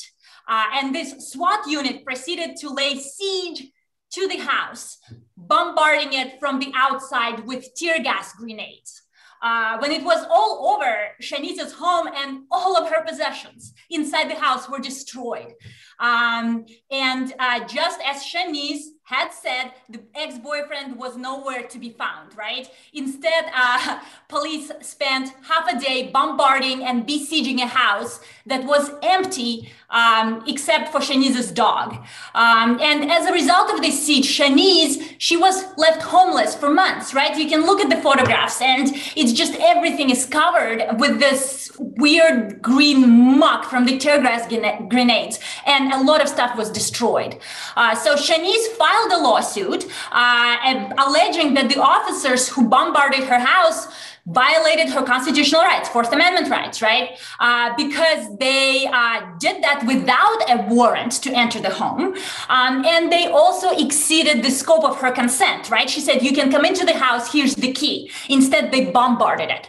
Um, so the officers, predictably, as it happens, and as it happened in Sylvia's case, uh, they invoked qualified immunity. Um, and the Ninth Circuit uh, agreed that qualified immunity protects the officers officers. And here's the, you know, shocking part, right? There is a case from the United States Supreme Court that specifically says you're not supposed to exceed the scope of consent to enter the house, right? Bombarding someone's house is obviously exceeding that consent, right? But the Ninth Circuit was not concerned with that Supreme Court precedent that supposedly puts officers, especially reasonable officers, on notice that they can't exceed the scope of consent. Instead, they were looking specifically for a case that would say violating consent by bombarding a house with tear gas grenades is unconstitutional. And because such an outrage thankfully doesn't happen that often or at least doesn't go through courts that often you couldn't even find a case on point right therefore her case was thrown out she wasn't even able to proceed to discovery and to evidence gathering, which is like a traditional thing to do when you sue uh, non-government entities or non-government people. Um, and again, notice how the officers here, and many speakers already mentioned that, right? The officers here were not acting under time pressure. Uh, there wasn't a time a split second type of a situation. Um, and again, even if they were, the Fourth Amendment would have protected them anyway, right? Because there is Supreme Court case law that does it, that specifically says we're not gonna look at this with hindsight, with 2020. We're gonna give deference to an officer who is acting under time, time pressure. So uh, they basically, um, uh, if, if were allowed to proceed with her litigation under the Fourth Amendment, then this reasonableness standard would have kicked in and the officers would have been giving their due deference, right? But instead, they just invoked qualified immunity and it froze all the litigation uh, in place before she could even open the courthouse door. Um, so, and that's how I come to Sylvia Gonzalez, right? Uh, she's got a lawsuit. Uh, she and I have a lawsuit in the Fifth Circuit right now called Gonzalez versus Mayor of Castle Hills. Uh, Sylvia um, uh, will tell you her story. I just want to note two things that her story illustrates, right? First, that qualified immunity uh, doesn't just protect police officers, it protects anyone who works for the government, right? In her case, it was the mayor of her town, it was the police chief who was not really acting as a police chief in her town, and it was a special investigator, right? That's first point. And the second point is that even if you win at the district court level, right, and your case is allowed to proceed, which is exactly what happened with Sylvia, we actually won at the district court level. And the, uh, the, the judge said that qualified immunity should not shield these government workers in her case. Even if that happens, government can still take this case up on appeal under this very complicated doctrine called interlocutory review doctrine, where you essentially get to freeze everything and go to the higher court and say, hey, the district court said qualified immunity shouldn't shield me. Is the district court right?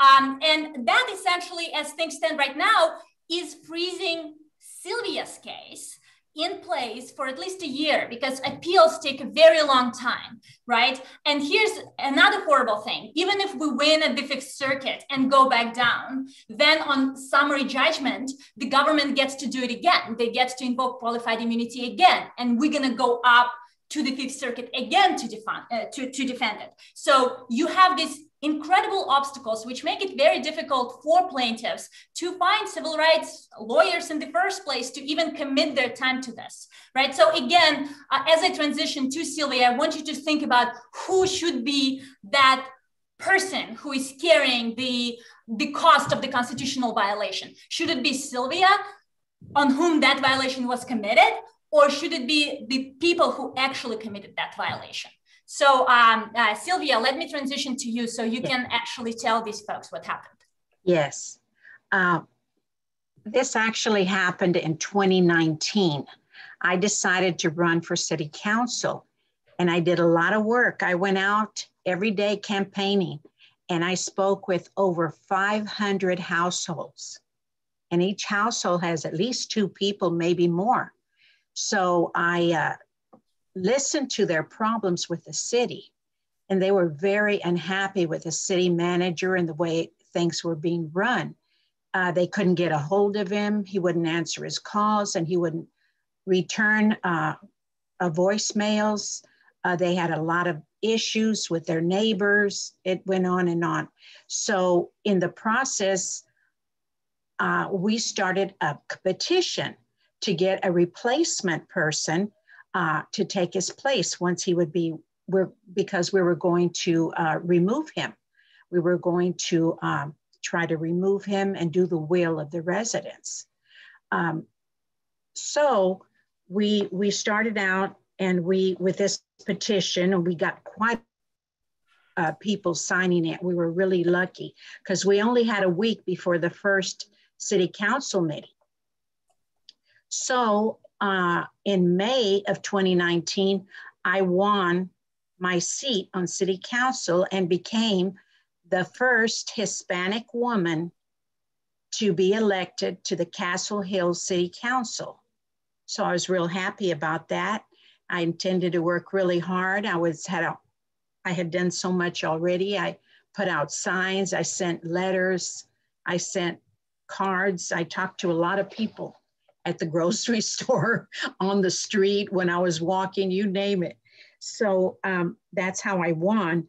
Um, but because I disagreed with the city government, they in turn threw me in jail and violated my civil rights, my First Amendment rights.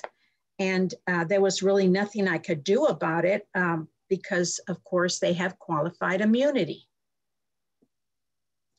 So at my first meeting, um, the mayor, the police chief, they allowed all these people to jump up out of their chairs and hurl insults to me that I wasn't qualified, that I was this, that I was that.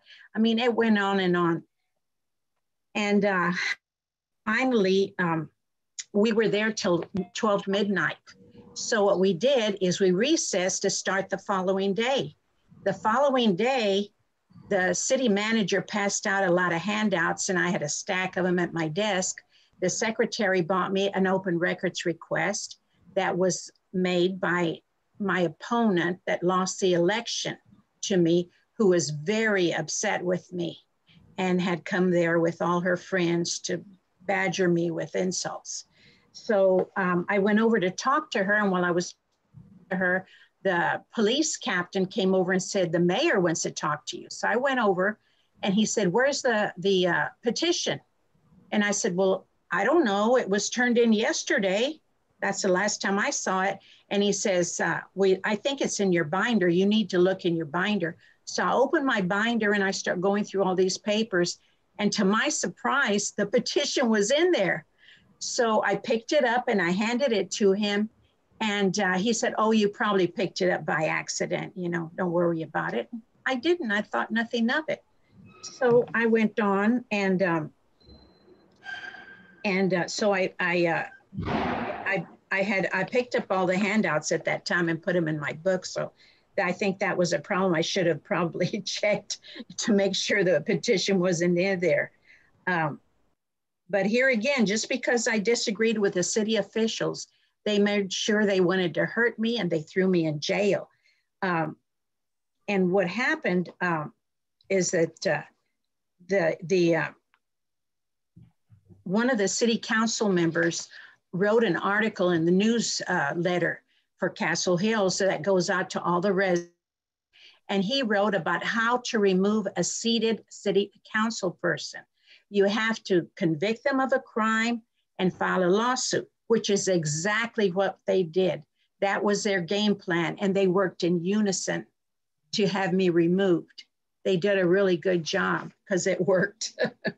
anyway, um, I, I filed a lawsuit. Uh, okay, let's see here.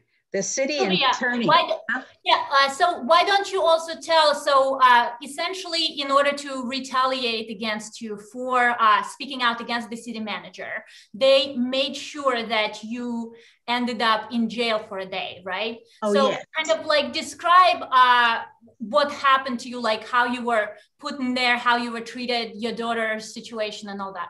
Yes. Uh, well, another thing that happened, uh, the city uh, attorney told me I was no longer on council because the person who swore me in, Bexar County Sheriff, was not qualified, although he had uh, the previous Bexar County Sheriff uh, swore in two people, and there was not a problem.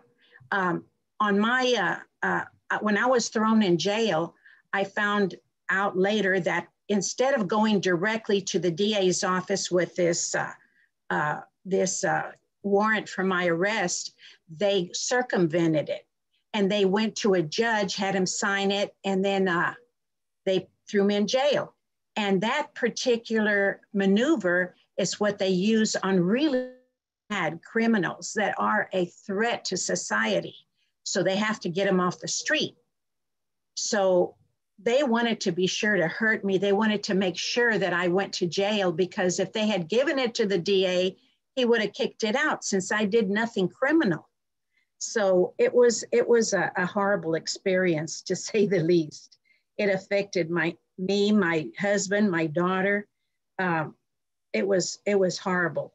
Uh, the next thing that happened when I was arrested, it was like being arrested at my daughter's office because she worked for the Bexar County Sheriff's Office and she was located in the same building. There was a lot of chatter, you know, people talking, you know, they wanted to go see Liz's uh, mother, you know, in jail. And uh, it was, it was horrible. It was humiliating for her. And I think it affected her career in a negative way. Uh, she was really upset. So they take me in, in there to the uh, to the processing center. And the first thing they do is handcuff me and uh, they frisk me. And then they uh, fingerprinted me. And then they, they put me into a cube, a cube where there was a full body x-ray on me. It was horrible. I didn't want to go in there, but I lost all my, uh, all my rights. I was a criminal. So they did what they wanted. They put me in that cubicle and the x-ray machine went up and down on my body and and what it is, is they were looking for any uh, drugs or, or possibly weapons that I might have on my body. So I passed that, I guess, you know. And uh, the next thing that happened, uh, I got a mug shot. And that mug shot was plastered all over the news media on television, the newspaper, the internet, the YouTube, and it'll be on the computer forever. It was a horrible experience. They kept having all of these um, different uh, reporters to make a new report. So it constantly, and it was a very hurtful thing because my family is here in San Antonio. I grew up here in San Antonio. My friends are here. People were very unkind to me, some of my neighbors, because they thought I was a criminal and I did nothing criminal. I mean, I I just I just tried to do my my job, which was uh, working on the getting the will of the residents, uh, voting with the will of the residents. But uh, anyway, that that happened to me. Um, there were a few telephones there, and there was a lot of people. There was prostitutes, drug addicts, people that were drunk, or a lady with two black eyes. I mean, you name it, it was in there and I had to sit on a, a cold metal a bench and, and I was handcuffed all day long from morning until night. And um, I couldn't stand up because if I did, they yelled at me uh, that I had to sit down. So I lost all my rights. And then uh, after all of that, six people that are uh, connected with uh, the city officials uh, filed a lawsuit against me, asking uh, for me to step down from city council and for me to be uh, going to a judge and jury trial to get me convicted of my crime. I was no longer on city council and my or my my case was dismissed. And so my attorneys kept calling him and they refused to remove me. So this cost me a lot of money because it, it lasted almost two years. And I had to be paying attorneys to defend me. So um, it was a very hard time and, and that I had to go through. And I didn't have a choice. And I had to spend so much money that I didn't have. I'm a retired person. Um, I had good chance, but bad things happened to me. Sylvia, um, uh-huh. yeah, thank you very much for um, sharing that story. And we will be happy to also, she will be happy to answer any of the questions you guys might have. Yes. I got one question, and that was about kind of explaining again um, where is Sylvia's lawsuit at this point and how did it end up there, right? So we basically filed a complaint saying that uh, Sylvia's First Amendment rights were violated. She spoke out against the city manager, and because of that, they essentially launched a retaliatory campaign, which ended up in her being thrown in jail. Uh, in order to intimidate her.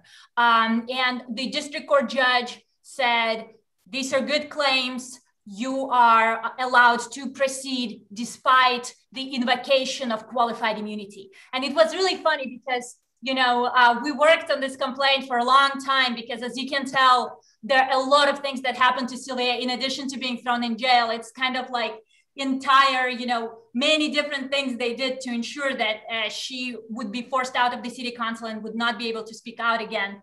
Um, and we spent all this time gearing up, filing the complaint, um, and then several days later, boom, qualified immunity response, right? It was just motion to dismiss based on qualified immunity. And they weren't even attempting to explain themselves at all whatsoever. They just basically said, even if she says all this, and even if it's true, qualified immunity applies, and that's it. Um, and then we briefed qualified immunity on the motion to dismiss stage, explaining why the violation of a constitutional right of this nature would be clearly established. And that's the clearly established test from 1982 that folks have been talking about. Um, and we wanted the district court. The judge said, you're right, she should be allowed a day in court, right? And uh, instead of proceeding to discovery, now she overcame this challenge at the motion to dismiss stage. Instead of proceeding to discovery and figuring out evidence, uh, the uh, defendant said, hold on, we don't have to do this. We actually can go to the Court of Appeals, right? Normally, you can only go to the Court of Appeals when the judgment is final, right? So once you're allowed to proceed with your claims, once you go to trial, once jury basically determines what's going to happen to you, then you can appeal, final judgment. But in this case, everything freezes and the government gets to ask the Court of Appeals to review the determination by the district court. And that's essentially what's happening here, where instead of actually looking at all the documents, because a lot of First Amendment stuff actually goes into, you know, getting evidence about what was said when, um, instead of doing that, we actually freeze everything and we're going to be briefing this before the Fifth Circuit Court of Appeals. And generally, with constitutional cases, it takes longer for the courts of appeals to kind of make their determination. And after that, if we win and the Court of Appeals actually says, you know what, the district court rightfully denied qualified immunity, we get to go back, right? And we get to start discovery. But then there will be this other opportunity for defendants at the motion for summary judgment stage, where they again get to file this paper and they again get to say, look at this again, qualified immunity applies. And if we again win there, the case is going to go back up to the Fifth Circuit on the motion to summary judgment stage, where again, the court will have to look at whether the district court's determination was correct. You can do it at least five times before you can actually get to figure out, uh, you know, whether uh, the uh, defendants actually violated the constitutional right and whether the remedy is due, right? So qualified immunity, one of the biggest problems with it, but one of the problems that's least understood because it's so complex and procedural is just by how long it delays litigation, right? And the funny thing, of course, is Harlow versus Fitzgerald, the case where the clearly established test came to be, you know, you have Justice Powell talk about how, you know, you don't want this litigation to keep going, right? So we kind of need for efficiency reasons to stop it. But qualified immunity cases are incredibly long, right? One of my clients, he's been fighting it for six years, right? We went to the United States Supreme Court and now we're going back to the Sixth Circuit. And again, they haven't even answered his complaint yet. So um, using qualified immunity this way can also be a weapon in that it deters people with claims who, ha- who have merits to file the lawsuit in the first place because of incredible cost of litigation. Yeah. Okay. Well, that was a lot. Thank you very much, uh, Anya, and thank you, Sylvia. Uh, it's a lot of information, and I think, you know, it also just goes to show one how a lot of people who end up in jail uh, in our system and even who go to prison are completely misunderstood and you know, Sylvia, I mean, the same thing you said about some of the other folks. They might even think about you, you know, here's this hardened criminal who did all this stuff and she ended up here. We saw her on TV, but often that's not really the case. It's sometimes a misunderstanding or a gross miscarriage of justice. That's a manipulation of a system that's supposed to be there to protect, but often harms people that shouldn't be. And, uh, you know, we can, you know, at some point talk about, you know, the, you know, legalization of other, you know, work and all this other stuff. But I think for now, I really appreciate, uh, you know a lot of the insights that were given and just to clarify that and you know we'll move on to any questions uh, folks have for you guys and then we're going to go on to a general question and answer segment for everyone. I know we've already got quite a few submitted, um, so folks can stick around for that. And then we're going to um, wrap after the final portion. So, uh, Michael, I'll let you take it away. Go ahead. Yeah, absolutely. Thanks so much, Jonathan. I know David from Representative Baldeh's office had a question. If he would like to ask it directly about how other countries approach this, otherwise, I am happy to read that for him. Um, I'm not seeing him on the list right now. He might have had to hop off, so I'll go ahead and read that. Um, he was wondering um, you know, how do um, how do other advanced industrial countries, other Western countries, so are so-called, how with these developed rules of law that we've seen that we see in our own country, how do they approach this issue, and do they have similar uh, similar concepts to qualified immunity, or do they do something different? And that's for for any any one of our speaker experts who may know is the first time I've heard that question. That is interesting. Uh, Professor, have you or Anya? I don't know if either of you or Jay have done any research into case study, you know, how other countries approach. I think it's kind of a uniquely American concept, and it's something that's also, you know, wasn't really legislatively developed. This was obviously in response to the 1871 uh, Congressional Act, the Ku Klux Klan Act, or also known as the Civil Rights Act of 1871, that did expressly the opposite and said that government this was obviously in response to the Ku Klux Klan's behavior in some cases directly working with if not themselves engaged in domestic terrorism against black people in this country that they should be held liable and directly accountable.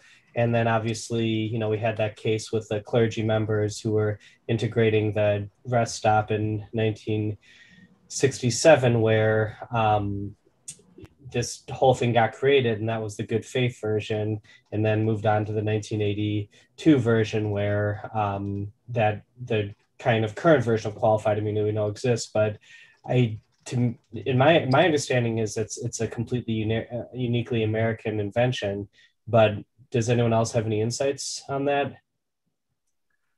I think that's basically right. I mean the thing i'd add is that uh, other countries have just such a different system. You know, many other countries don't have the same written constitution and and sort of bill of rights that we do. Among the ones that do, they often have a kind of more of an administrative law system or another sort of a whole network of of remedies and accountability. Um, so the you know it, it it does partly arise out of sort of the American tradition of the American tort system and our frankly our lack of another uh, really sound mechanism for uh, for administration and and uh, supervision of government officials. So I think that's right. It's in a way, uh, there's a lot going into that. Right. Yeah. Fascinating question. though. yeah. Awesome. Thank you. Also, sorry. Did you go? Go ahead. Sorry. No, I, I would also compare it to countries that actually are uh, more of a developing countries rather developed, right? So uh, I know I have a very slight accent, so you can't possibly guess where I'm from right? but originally I came from a former Soviet Union, right? And I grew up in the system that essentially was a failed state by then, right? In, in a country called Kyrgyzstan. And uh, I always tell this story about uh, my mother and uh, I, we were walking back home. It was kind of dark. We just went to the grocery stores. I had two muffins, one in each hand, you know, really happy about them, looking forward to going home. And all of a sudden, this guy comes from the back and grabs my mother's purse right? And she starts fighting him and she just wants to make sure he doesn't take her purse. And, you know, it's Mortal Kombat. Uh, I'm standing there with my two muffins, right? I can't do anything. I'm completely shocked. Um, and then the guy runs away. My mother looks at me and she's like, what did I pay these taekwondo lessons for? So at that point, instead of going to police and asking them for help, right, we actually begin looking for the guy ourselves. It's really dark. We're looking, walking around this micro district. It's like Khrushchevka style buildings, you know, and we're screaming, please give us back the passport. You can keep everything else, but give us back the passport, right? My mother happened to have the passport in her purse because she was worried about our apartment being robbed. She wanted to make sure that passport is on her, and now she was robbed with, it, with this. There's no win, essentially. But the point is that instead of going to police, instead of asking them for help, we actually chose to pursue it ourselves because we were worried that there was, because of the lack of accountability in that system, that the officer could actually hurt us more than he could help us. So my mother is like, this is not worth it. Let's just try to figure this out ourselves. And in fact, throughout my life in Kyrgyzstan, every time we uh, faced a challenge, we tried to resolve it without getting police involved, right? And that's a problem. And that problem has similar roots in that essentially there is no accountability. And when there is no accountability, you worried about turning to government for help because you actually think, oh my God, they might actually hurt me and they wouldn't have to pay for it right? So one of the reasons I do this work is because I very much don't want this to be the case in a country like ours here in the United States of America. So that's kind of another another kind of place to compare it against and ensure it doesn't happen here. In fact, it already happens in many circumstances, but like making sure that going forward it wouldn't happen. Absolutely. And although that tale comes all the way from Central Asia, I think it's far too common. You know, we hear especially in actually some of the immigrant communities a lot of us have worked with that exact same thing especially uh, you know over recent years with um, some um, more aggressive policies from the feds. But yeah I, th- I, think that's absolutely spot on. And and again part of ending qualified immunity especially in regard to law enforcement is about restoring integrity. And in fact I, I was listening to a conservative podcast last night um, just kind of getting myself in the mindset for this. And there was, and, and there's actually a couple law enforcement officers discussing and one who had a legal background. And they were saying, you know, all the cops who are out there, you know, we hear about, you know, they're going to lose their jobs. Everyone's going to get sued to oblivion. Everyone's freaking out. And first, uh, you know, they had a lot of choice words for people on the left, but then they said, you know, this has nothing to do with you 99% of cops who are obeying the law are not even going to notice the difference in this. This is only for cops. So even from a more conservative perspective, they were saying that this does not affect you. And we're, you know, one of them was a legal expert and he was saying, you know, this is, this will not affect you. This will not hurt you unless it should affect you. But if that's the case, you shouldn't be a cop in the first place.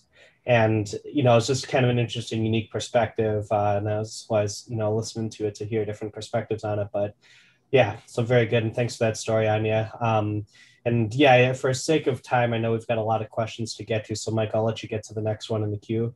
Yeah, absolutely. So this one is from Representative Spreitzer, who I know had to hop off earlier, but he said he'd catch it on the uh, on the uh, replay.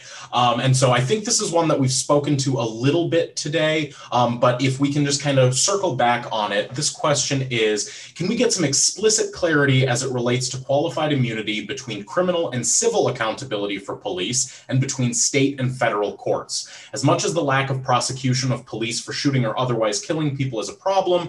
Qualified immunity is specifically about whether victims and their families have a civil remedy, correct? And to the extent that this is based on US Supreme Court precedent, we in Wisconsin can't change that federal precedent.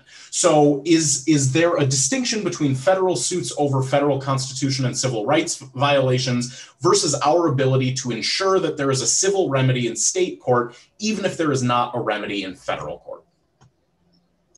So I'd, I'd be happy to address that. And I, I really, I think the, the premises in the question are all exactly right. Um, qualified immunity is only a civil doctrine. Uh, it does not prohibit criminal prosecutions. Um, and, and in terms of the state versus federal, this is kind of what I was discussing earlier, that in a formal sense, right, there is a federal civil rights statute, which we generally call Section 1983. And that statute allows you to bring a claim in federal court or a violation of your federal constitutional rights. And the Supreme Court, in theory, interpreting that statute, has said qualified immunity is, is part of that. You have to overcome qualified immunity to bring a Section 1983 suit in federal court. So states cannot change that because that is federal law. But what states can do is create a what I usually often call a state analog to Section 1983. In other words, a state civil rights law that says you have a right to bring a lawsuit for violations of your state constitutional rights. Um, and because most states have constitutions that you know largely mirror or even more protective than the federal constitution, um, that you know is a robust remedy. And then because that statute is just state law, and states, of course, are free to define state law themselves, you know, within constitutional limits, they can simply clarify that qualified immunity will not be applicable. Because what was happening for a long time, I mean, there are lots of other states that have these Section 1983 analogs. Um, even before Colorado, there were, I believe, uh, you know, seven or eight other states, depending on how you count it. But even though none of those statutes mentioned qualified immunity, what the state courts were doing in those states was basically just importing the federal doctrine and saying, well, you know, it's good enough there, so it's good enough here.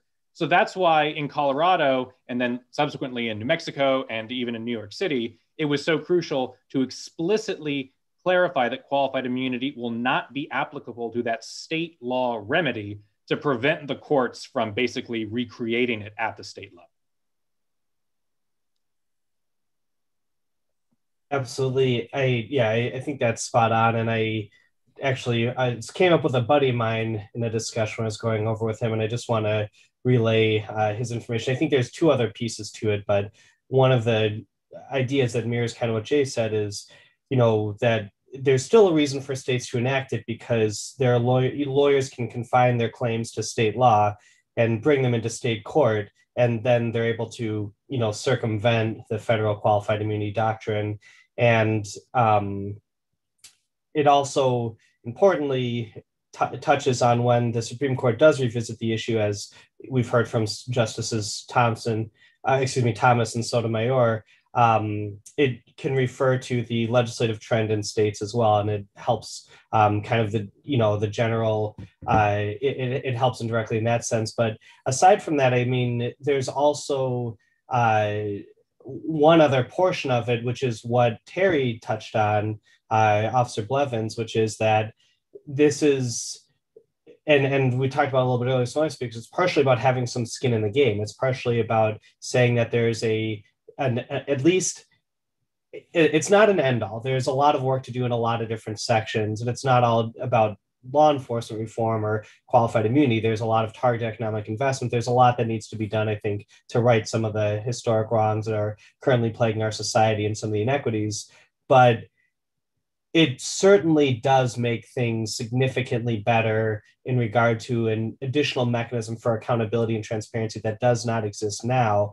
And without that mechanism, there is no opportunity and no reason for corrupt cops not to keep moving up and up through the system and for the worst parts of our law enforcement system to continuously be reinforced because they have a in many in almost every single case, there's a blanket shield.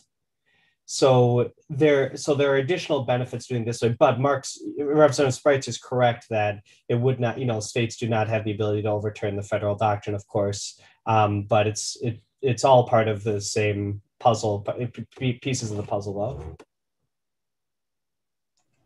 Great. Yeah, we've got another question here. Um, looking, so this one, this one's out of Milwaukee. Question is: We hear a lot about qualified immunity in terms of police violence. Could qualified immunity also be used to protect officers against other police activities, such as questionable instances of surveillance? It's becoming a particular concern of specific residents in the city ever since certain like uh, protests for social justice have started.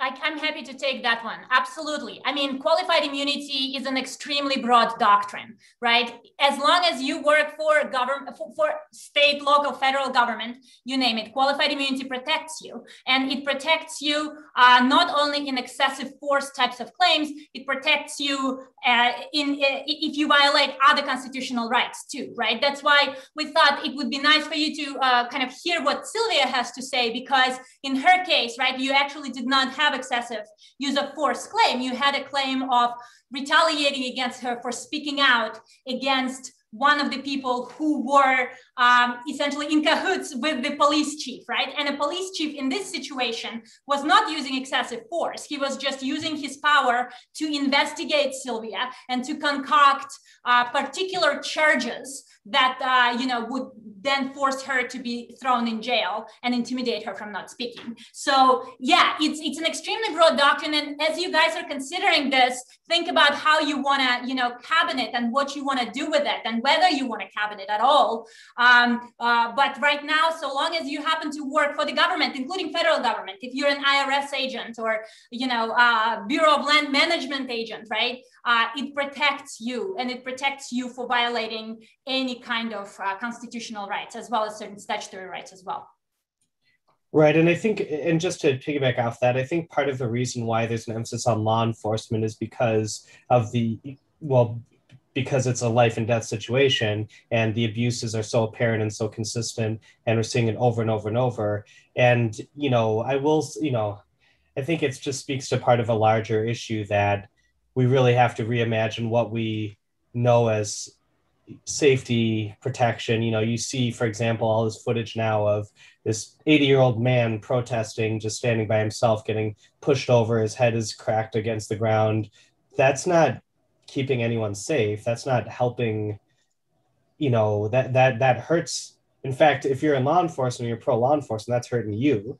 You know, it's not keeping anyone safe. So I think that's why the emphasis is is kind of targeted towards them, uh, towards that profession right now. Um, yeah, and I know, and I think we had a couple of questions from Isaiah. Michael, should we just hammer through those? Yep, yep, working through those. So that so that was one of his. The other one was kind of covered by uh, Representative Spreitzer's question. So um, moving moving on to another question here. So someone else asked, without qualified immunity, a lot of onus falls directly on the officers. Is there another system that would replace qualified immunity to put at least some responsibility on the higher ups giving orders? So within maybe the chain of command at the at the law enforcement level or the union line or something like that. Yeah, I'm happy to take that one on as well uh, because uh, you know one of the uh, model bills that IJ has been working on actually involves very much that, and it's kind of uh, uh, similar to what Tim uh, Senator Tim Scott is talking about right now when they're talk when it comes to Justice and Policing Act, right? As I mentioned in my presentation earlier, there is a big through line in the accountability jurisprudence historically, right? The focus was very much on does the victim get a remedy for violations of the individual right, right? And uh, one of the ways to provide that remedy was through uh, suing the official directly. Another one is actually the system of respondeat superior liability against municipalities, right?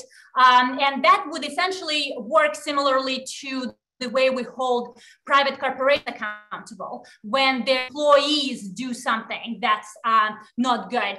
Um, and um, uh, what, what that does, interestingly, is it kind of incentivizes to minimize constitutional violations on the front end, right? Because it incentivizes municipalities to hire better, to train better, to, as Jay actually says, to have skin in the game from the municipality's perspective as well, right? But then there is, of course, another question in terms of what kind of accountability would the officer have? And that's something that you can also play around with. Um, uh, our model bill, for example, uh, on the state level talks about perhaps the ability to actually fire the officer right after it is found that this officer violated constitutional rights. So at the very least, the municipality, while it is on the hook for paying the damages, uh, would actually have an opportunity to fire that bad apple, but also would have an opportunity to hire good apples um, on the front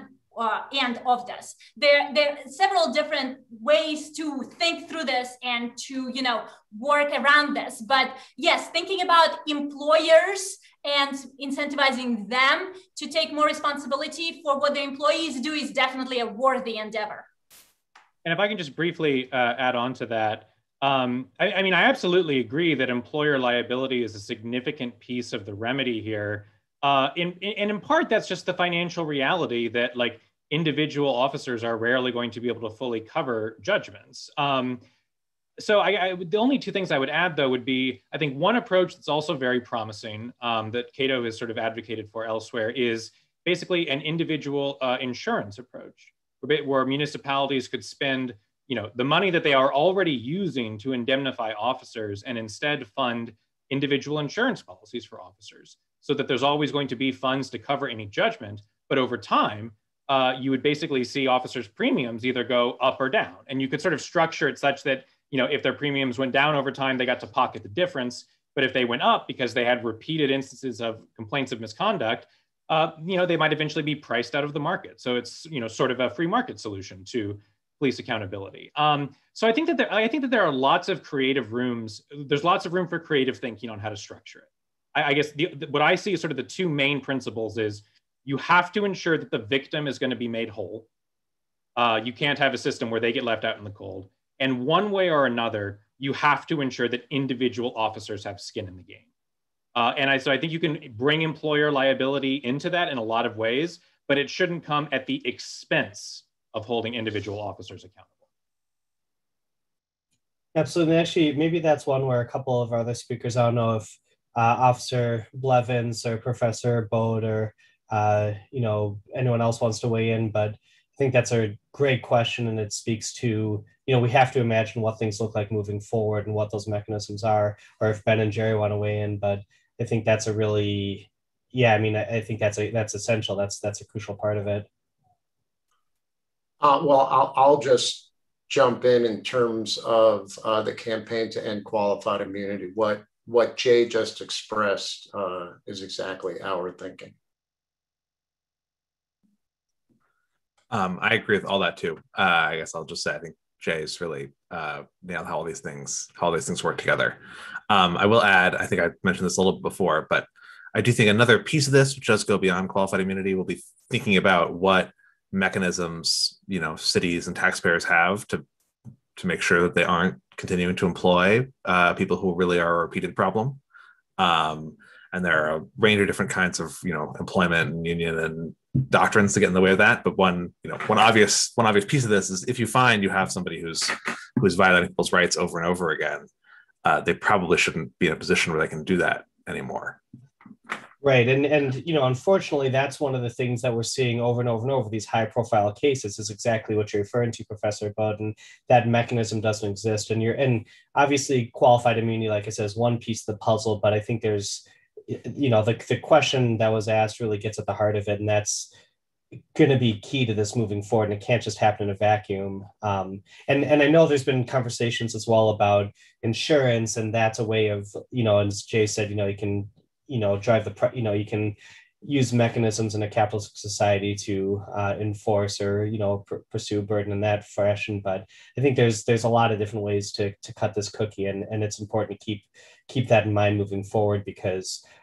you know the other side of this is since night you know since this has been this doctrine has been created in 1967 and really the current iteration from 1982 the the there there has been a culture that's entrenched itself that will that, that there's going to be a lot of unpacking there and i don't think it's going to be you know a overnight success sort of thing. Although you know one thing i will point to that jerry talked about is is so key that the new york city the th- and that wasn't just one police association that was actually three different that all put that letter together and had their legal team consult and then they put it out and then someone leaked it you know publicly. Now it's available on the internet. But they said now that qualified immunity is over in new york we have to operate within the law.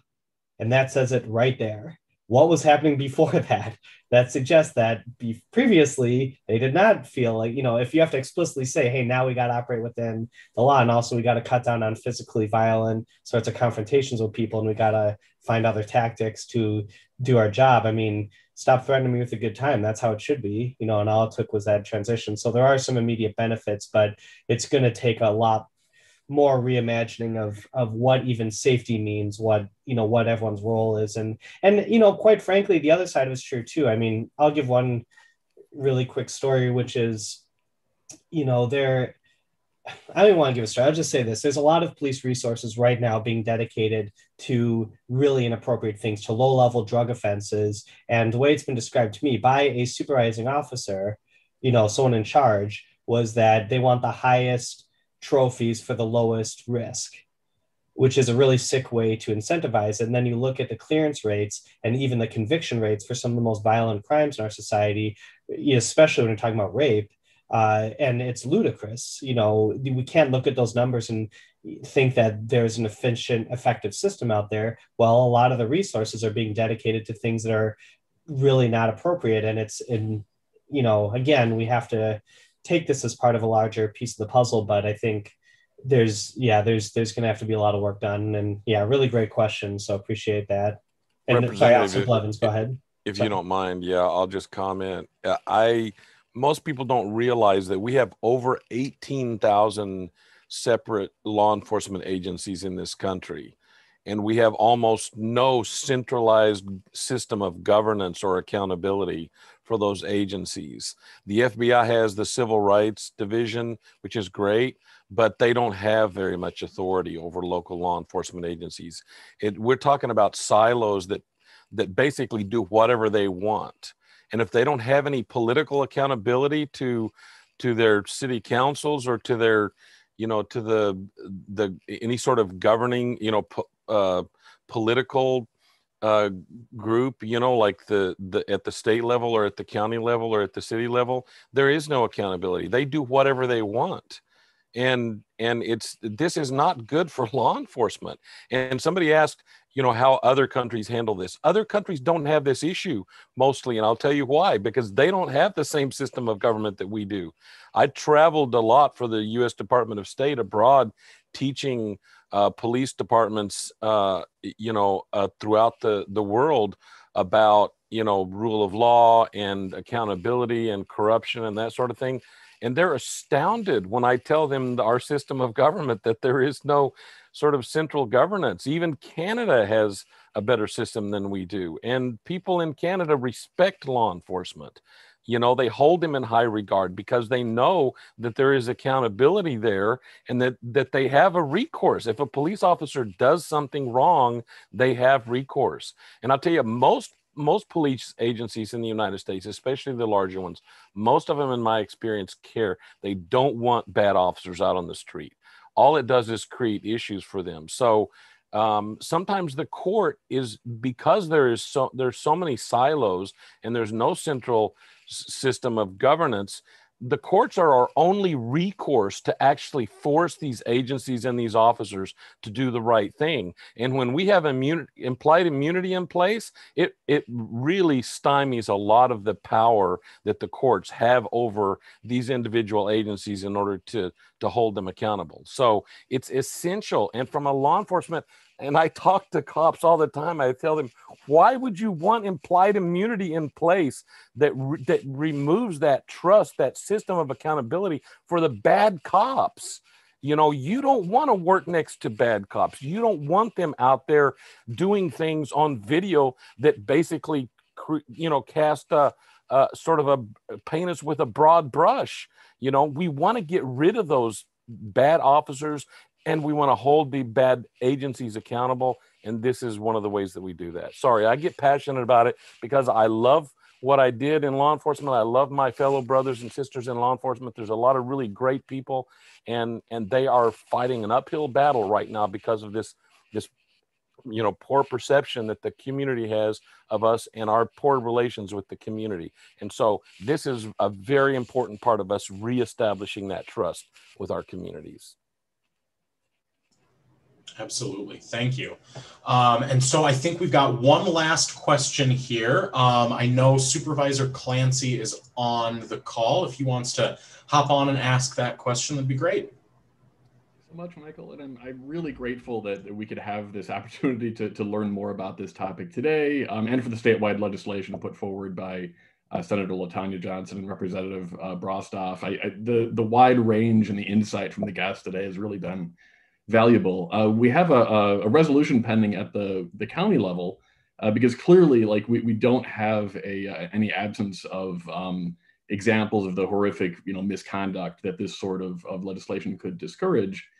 Um, and I'm really happy to see some of my colleagues here today. So I know we have supervisors Taylor, Haas, and, and Shea.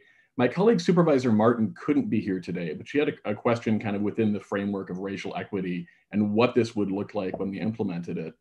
Uh, and that was uh, what are the costs of malpractice insurance for law enforcement kind of generally? And then could requiring law enforcement to carry malpractice insurance uh, prevent Black and Indigenous people of color from becoming uh, law enforcement officers in the first place? Uh, and that was a. am uh, I'm glad that we're kind of getting into the, the weeds on this so much because it looks like we have uh, hopefully some broad support for this. And I, I, what I'm hearing is that this is overall something that's going to be really helpful, but wanted to, to bring that here for her today. Um, so I'll take a shot at answering part of that. I mean, I, I think, you know, insurance rates, right, are going to be determined based on so many different factors, you know, in terms of both like the particular locality as well as what the current, you know, existing legal regime is. So I, I, you know, I certainly can't tell you, and I don't think anyone honestly could tell you with confidence what hypothetically insurance rates would look like, um, you know, if the state did X, Y, and Z. What, what I would say though, in terms of the risk that like the cost of insurance would keep people from being police officers, um, I, I, I think it's important to keep in mind that municipalities are already spending significant money to indemnify police officers. So you know, the, what I'm proposing that, you know, and I think what most people mean when they talk about an insurance based approach is not just some freestanding requirement to tell cops to go out and buy insurance, right? Rather, it would be municipal employers funding those insurance policies. Now, I think it would be interesting to set that up in a way where, as officers' rates changed, the delta, right, between what sort of the base level of funding is and what, in light of their own conduct, sort of their rates became, you know, should have consequence for them.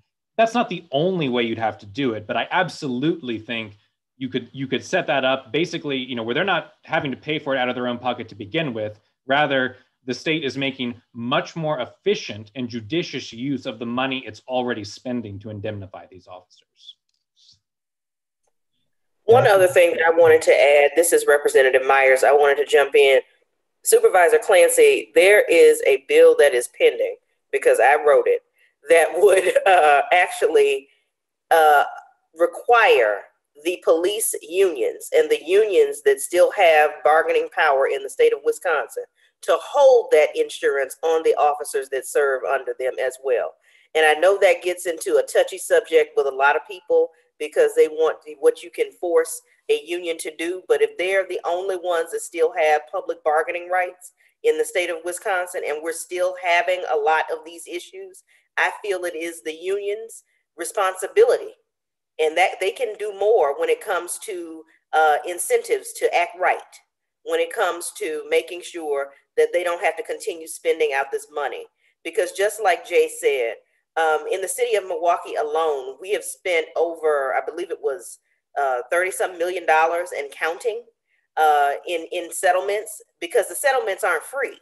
We're paying for the settlements. The people pay for the settlements. We also pay for the backfill in um, making sure that we maintain officers at their current um, rate of uh, pay as far as the pension issue is concerned. So that's one of the those are two of the biggest issues in the city of Milwaukee alone.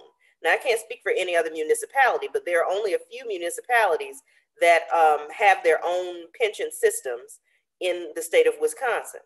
Most officers that are regular municipal police officers are covered under the WRS, which is the same system that the representatives are, uh, the judges and uh, school teachers, people who work for the state are covered under. Everybody's not under WRS. So this gets into also a deeper conversation about who is covered under WRS insurance and who is covered under some separate entity. So those are all questions and uh, things that I would love to follow up with you about because I've had these conversations with several different members, both Republican and Democrat, and also with the county executive to have some of these conversations as well, because these are some fiscal issues that we have to look at. And I'm speaking for Milwaukee County right now, that we have to have to be able to survive and to move forward if we want to maintain a consistent uh, level of services across uh, what we're doing now.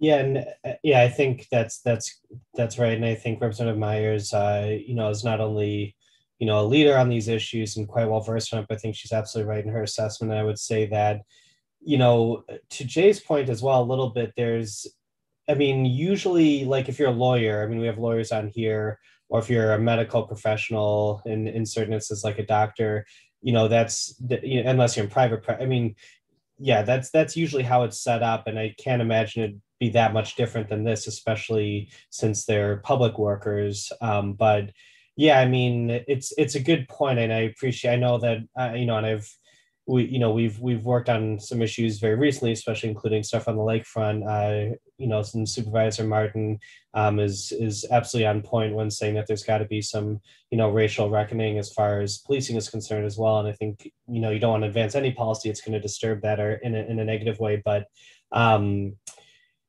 you know, I look at it right now and you see in Milwaukee who are the what's the most diverse, who has the most African American and you know, the as far as the classes are concerned, my understanding is that's the NCOs, the non-commissioned officers. And they're the ones that don't carry the guns. They're the ones that are usually from the community that don't live way out in the suburbs since we got rid of residency. And they're usually the ones that are bought up. I mean, I've, you know, I mean, I'm from Milwaukee. I've not, you know, I've grown up, you know, a lot of the folks as well. And, you know, I think that it's part of a larger conversation. And I, and I think that her point's well taken that while we're looking at ending qualified immunity, we should really be rethinking how we can readjust lots of parts of the system because it's not just one aspect that needs to be accounted for. What, you know, and it's, and I really, and, you know, I'll just say on my own side of it, one thing I'm really against, I really don't like is all this idea of just equity training and diversifies training and stuff like that because it's not just a training and just throw more money at the issue sort of problem. They're fundamental that you know They, yeah so anyway that's a long conversation for another day but i'm happy to talk offline with with representative martin at, at length since she couldn't be here but i think uh, you know representative myers said it very well but also there's probably some more follow-up and i hope that she'll end up being supportive of this resolution. And uh, thanks for the question and thanks for your work representative clancy and oh, and uh, we can't claim we cannot always change hearts and minds, but we can change policy that can change behavior. Absolutely. And uh, I see we're joined also by another uh, leader on this issue and an initial uh, co co-author, uh, Representative David Bowen, uh, who's with us. And so we're going to, uh, first of all, thank you, David Bowen, for being with us. And I'll, I'll let you grab the mic. go ahead and thank you very much.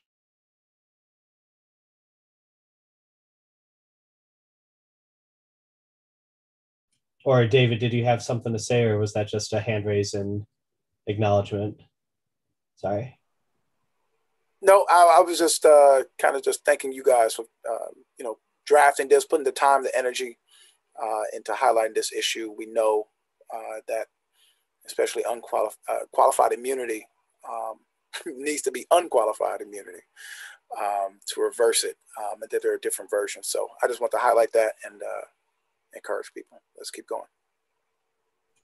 Appreciate you and appreciate your leadership on this issue. Um, so if we have no more questions, uh, and Michael, uh, I don't know if you've seen any more come in. Nope, that that looks like all of our questions here. So I'll okay. let you wrap things up here. Yeah, and we'll do. I think we're going to have a quick press avail afterwards, right? Yep. For um, any of our speakers who are available still afterwards, we've got another uh, Zoom link that went to you this morning um, that we will be hopping to right immediately after this. Um, if you're available, just a few minutes. We have a handful of members of the press who are on there. We'll just take a few questions and then uh, and then go from there. Yeah. So again, I really want to thank, uh, first of all, all of our partners on this who helped uh, edify today and make it happen. Uh, thank you to Officer Blevins. Thank you to Anya. Thank you to Ben and Jerry. Thank you to Jay. Thank you to Professor Baude. Uh, thank you very much as well to our legislative colleagues who are here, Representative Bowen, Representative uh, Myers, Representative Moore Omokunde, Senator Taylor, and Senator um, uh, Johnson. I keep I want to say LaTonya because we have two Senator Johnson in Wisconsin, and they're very different. Uh, although one is a state senator, one's a United States senator. But uh, yeah, Senator John, Senator LaTonya Johnson, um, and also thank you to uh, our other colleagues and other legislators from different um, bodies who joined us today. This is an issue that I've put a lot of work into and I've done a lot of research. And I will say a couple years ago, I knew absolutely nothing about, and I've tried to learn myself and, and do my best to educate others. But I think it's forums like this that are incredibly important in dissecting a very important but very complicated issue. And hopefully uh, we uh, were able to do that today. And I know that there is a lot of work that needs to be done as far as racial justice in our society and just building a more just society in general. But to me, ending qualified immunity is a key portion of that. And I will continue to work uh, tirelessly on passing AB 186 here in Wisconsin, as well as um, other efforts. And I really appreciate all the partners in that and, and, everyone for coming out today. And if you're watching at home or watching this on, you know, perpetuity in your own time on your phone some night, you know, not live, uh, thank you very much for tuning in. And even if you disagree, hopefully this was helpful to you. Um, and again, thanks everyone. Thank you to the speakers and thank you very much to Michael and Rebecca for making this happen. We appreciate all of you. All right. Bye.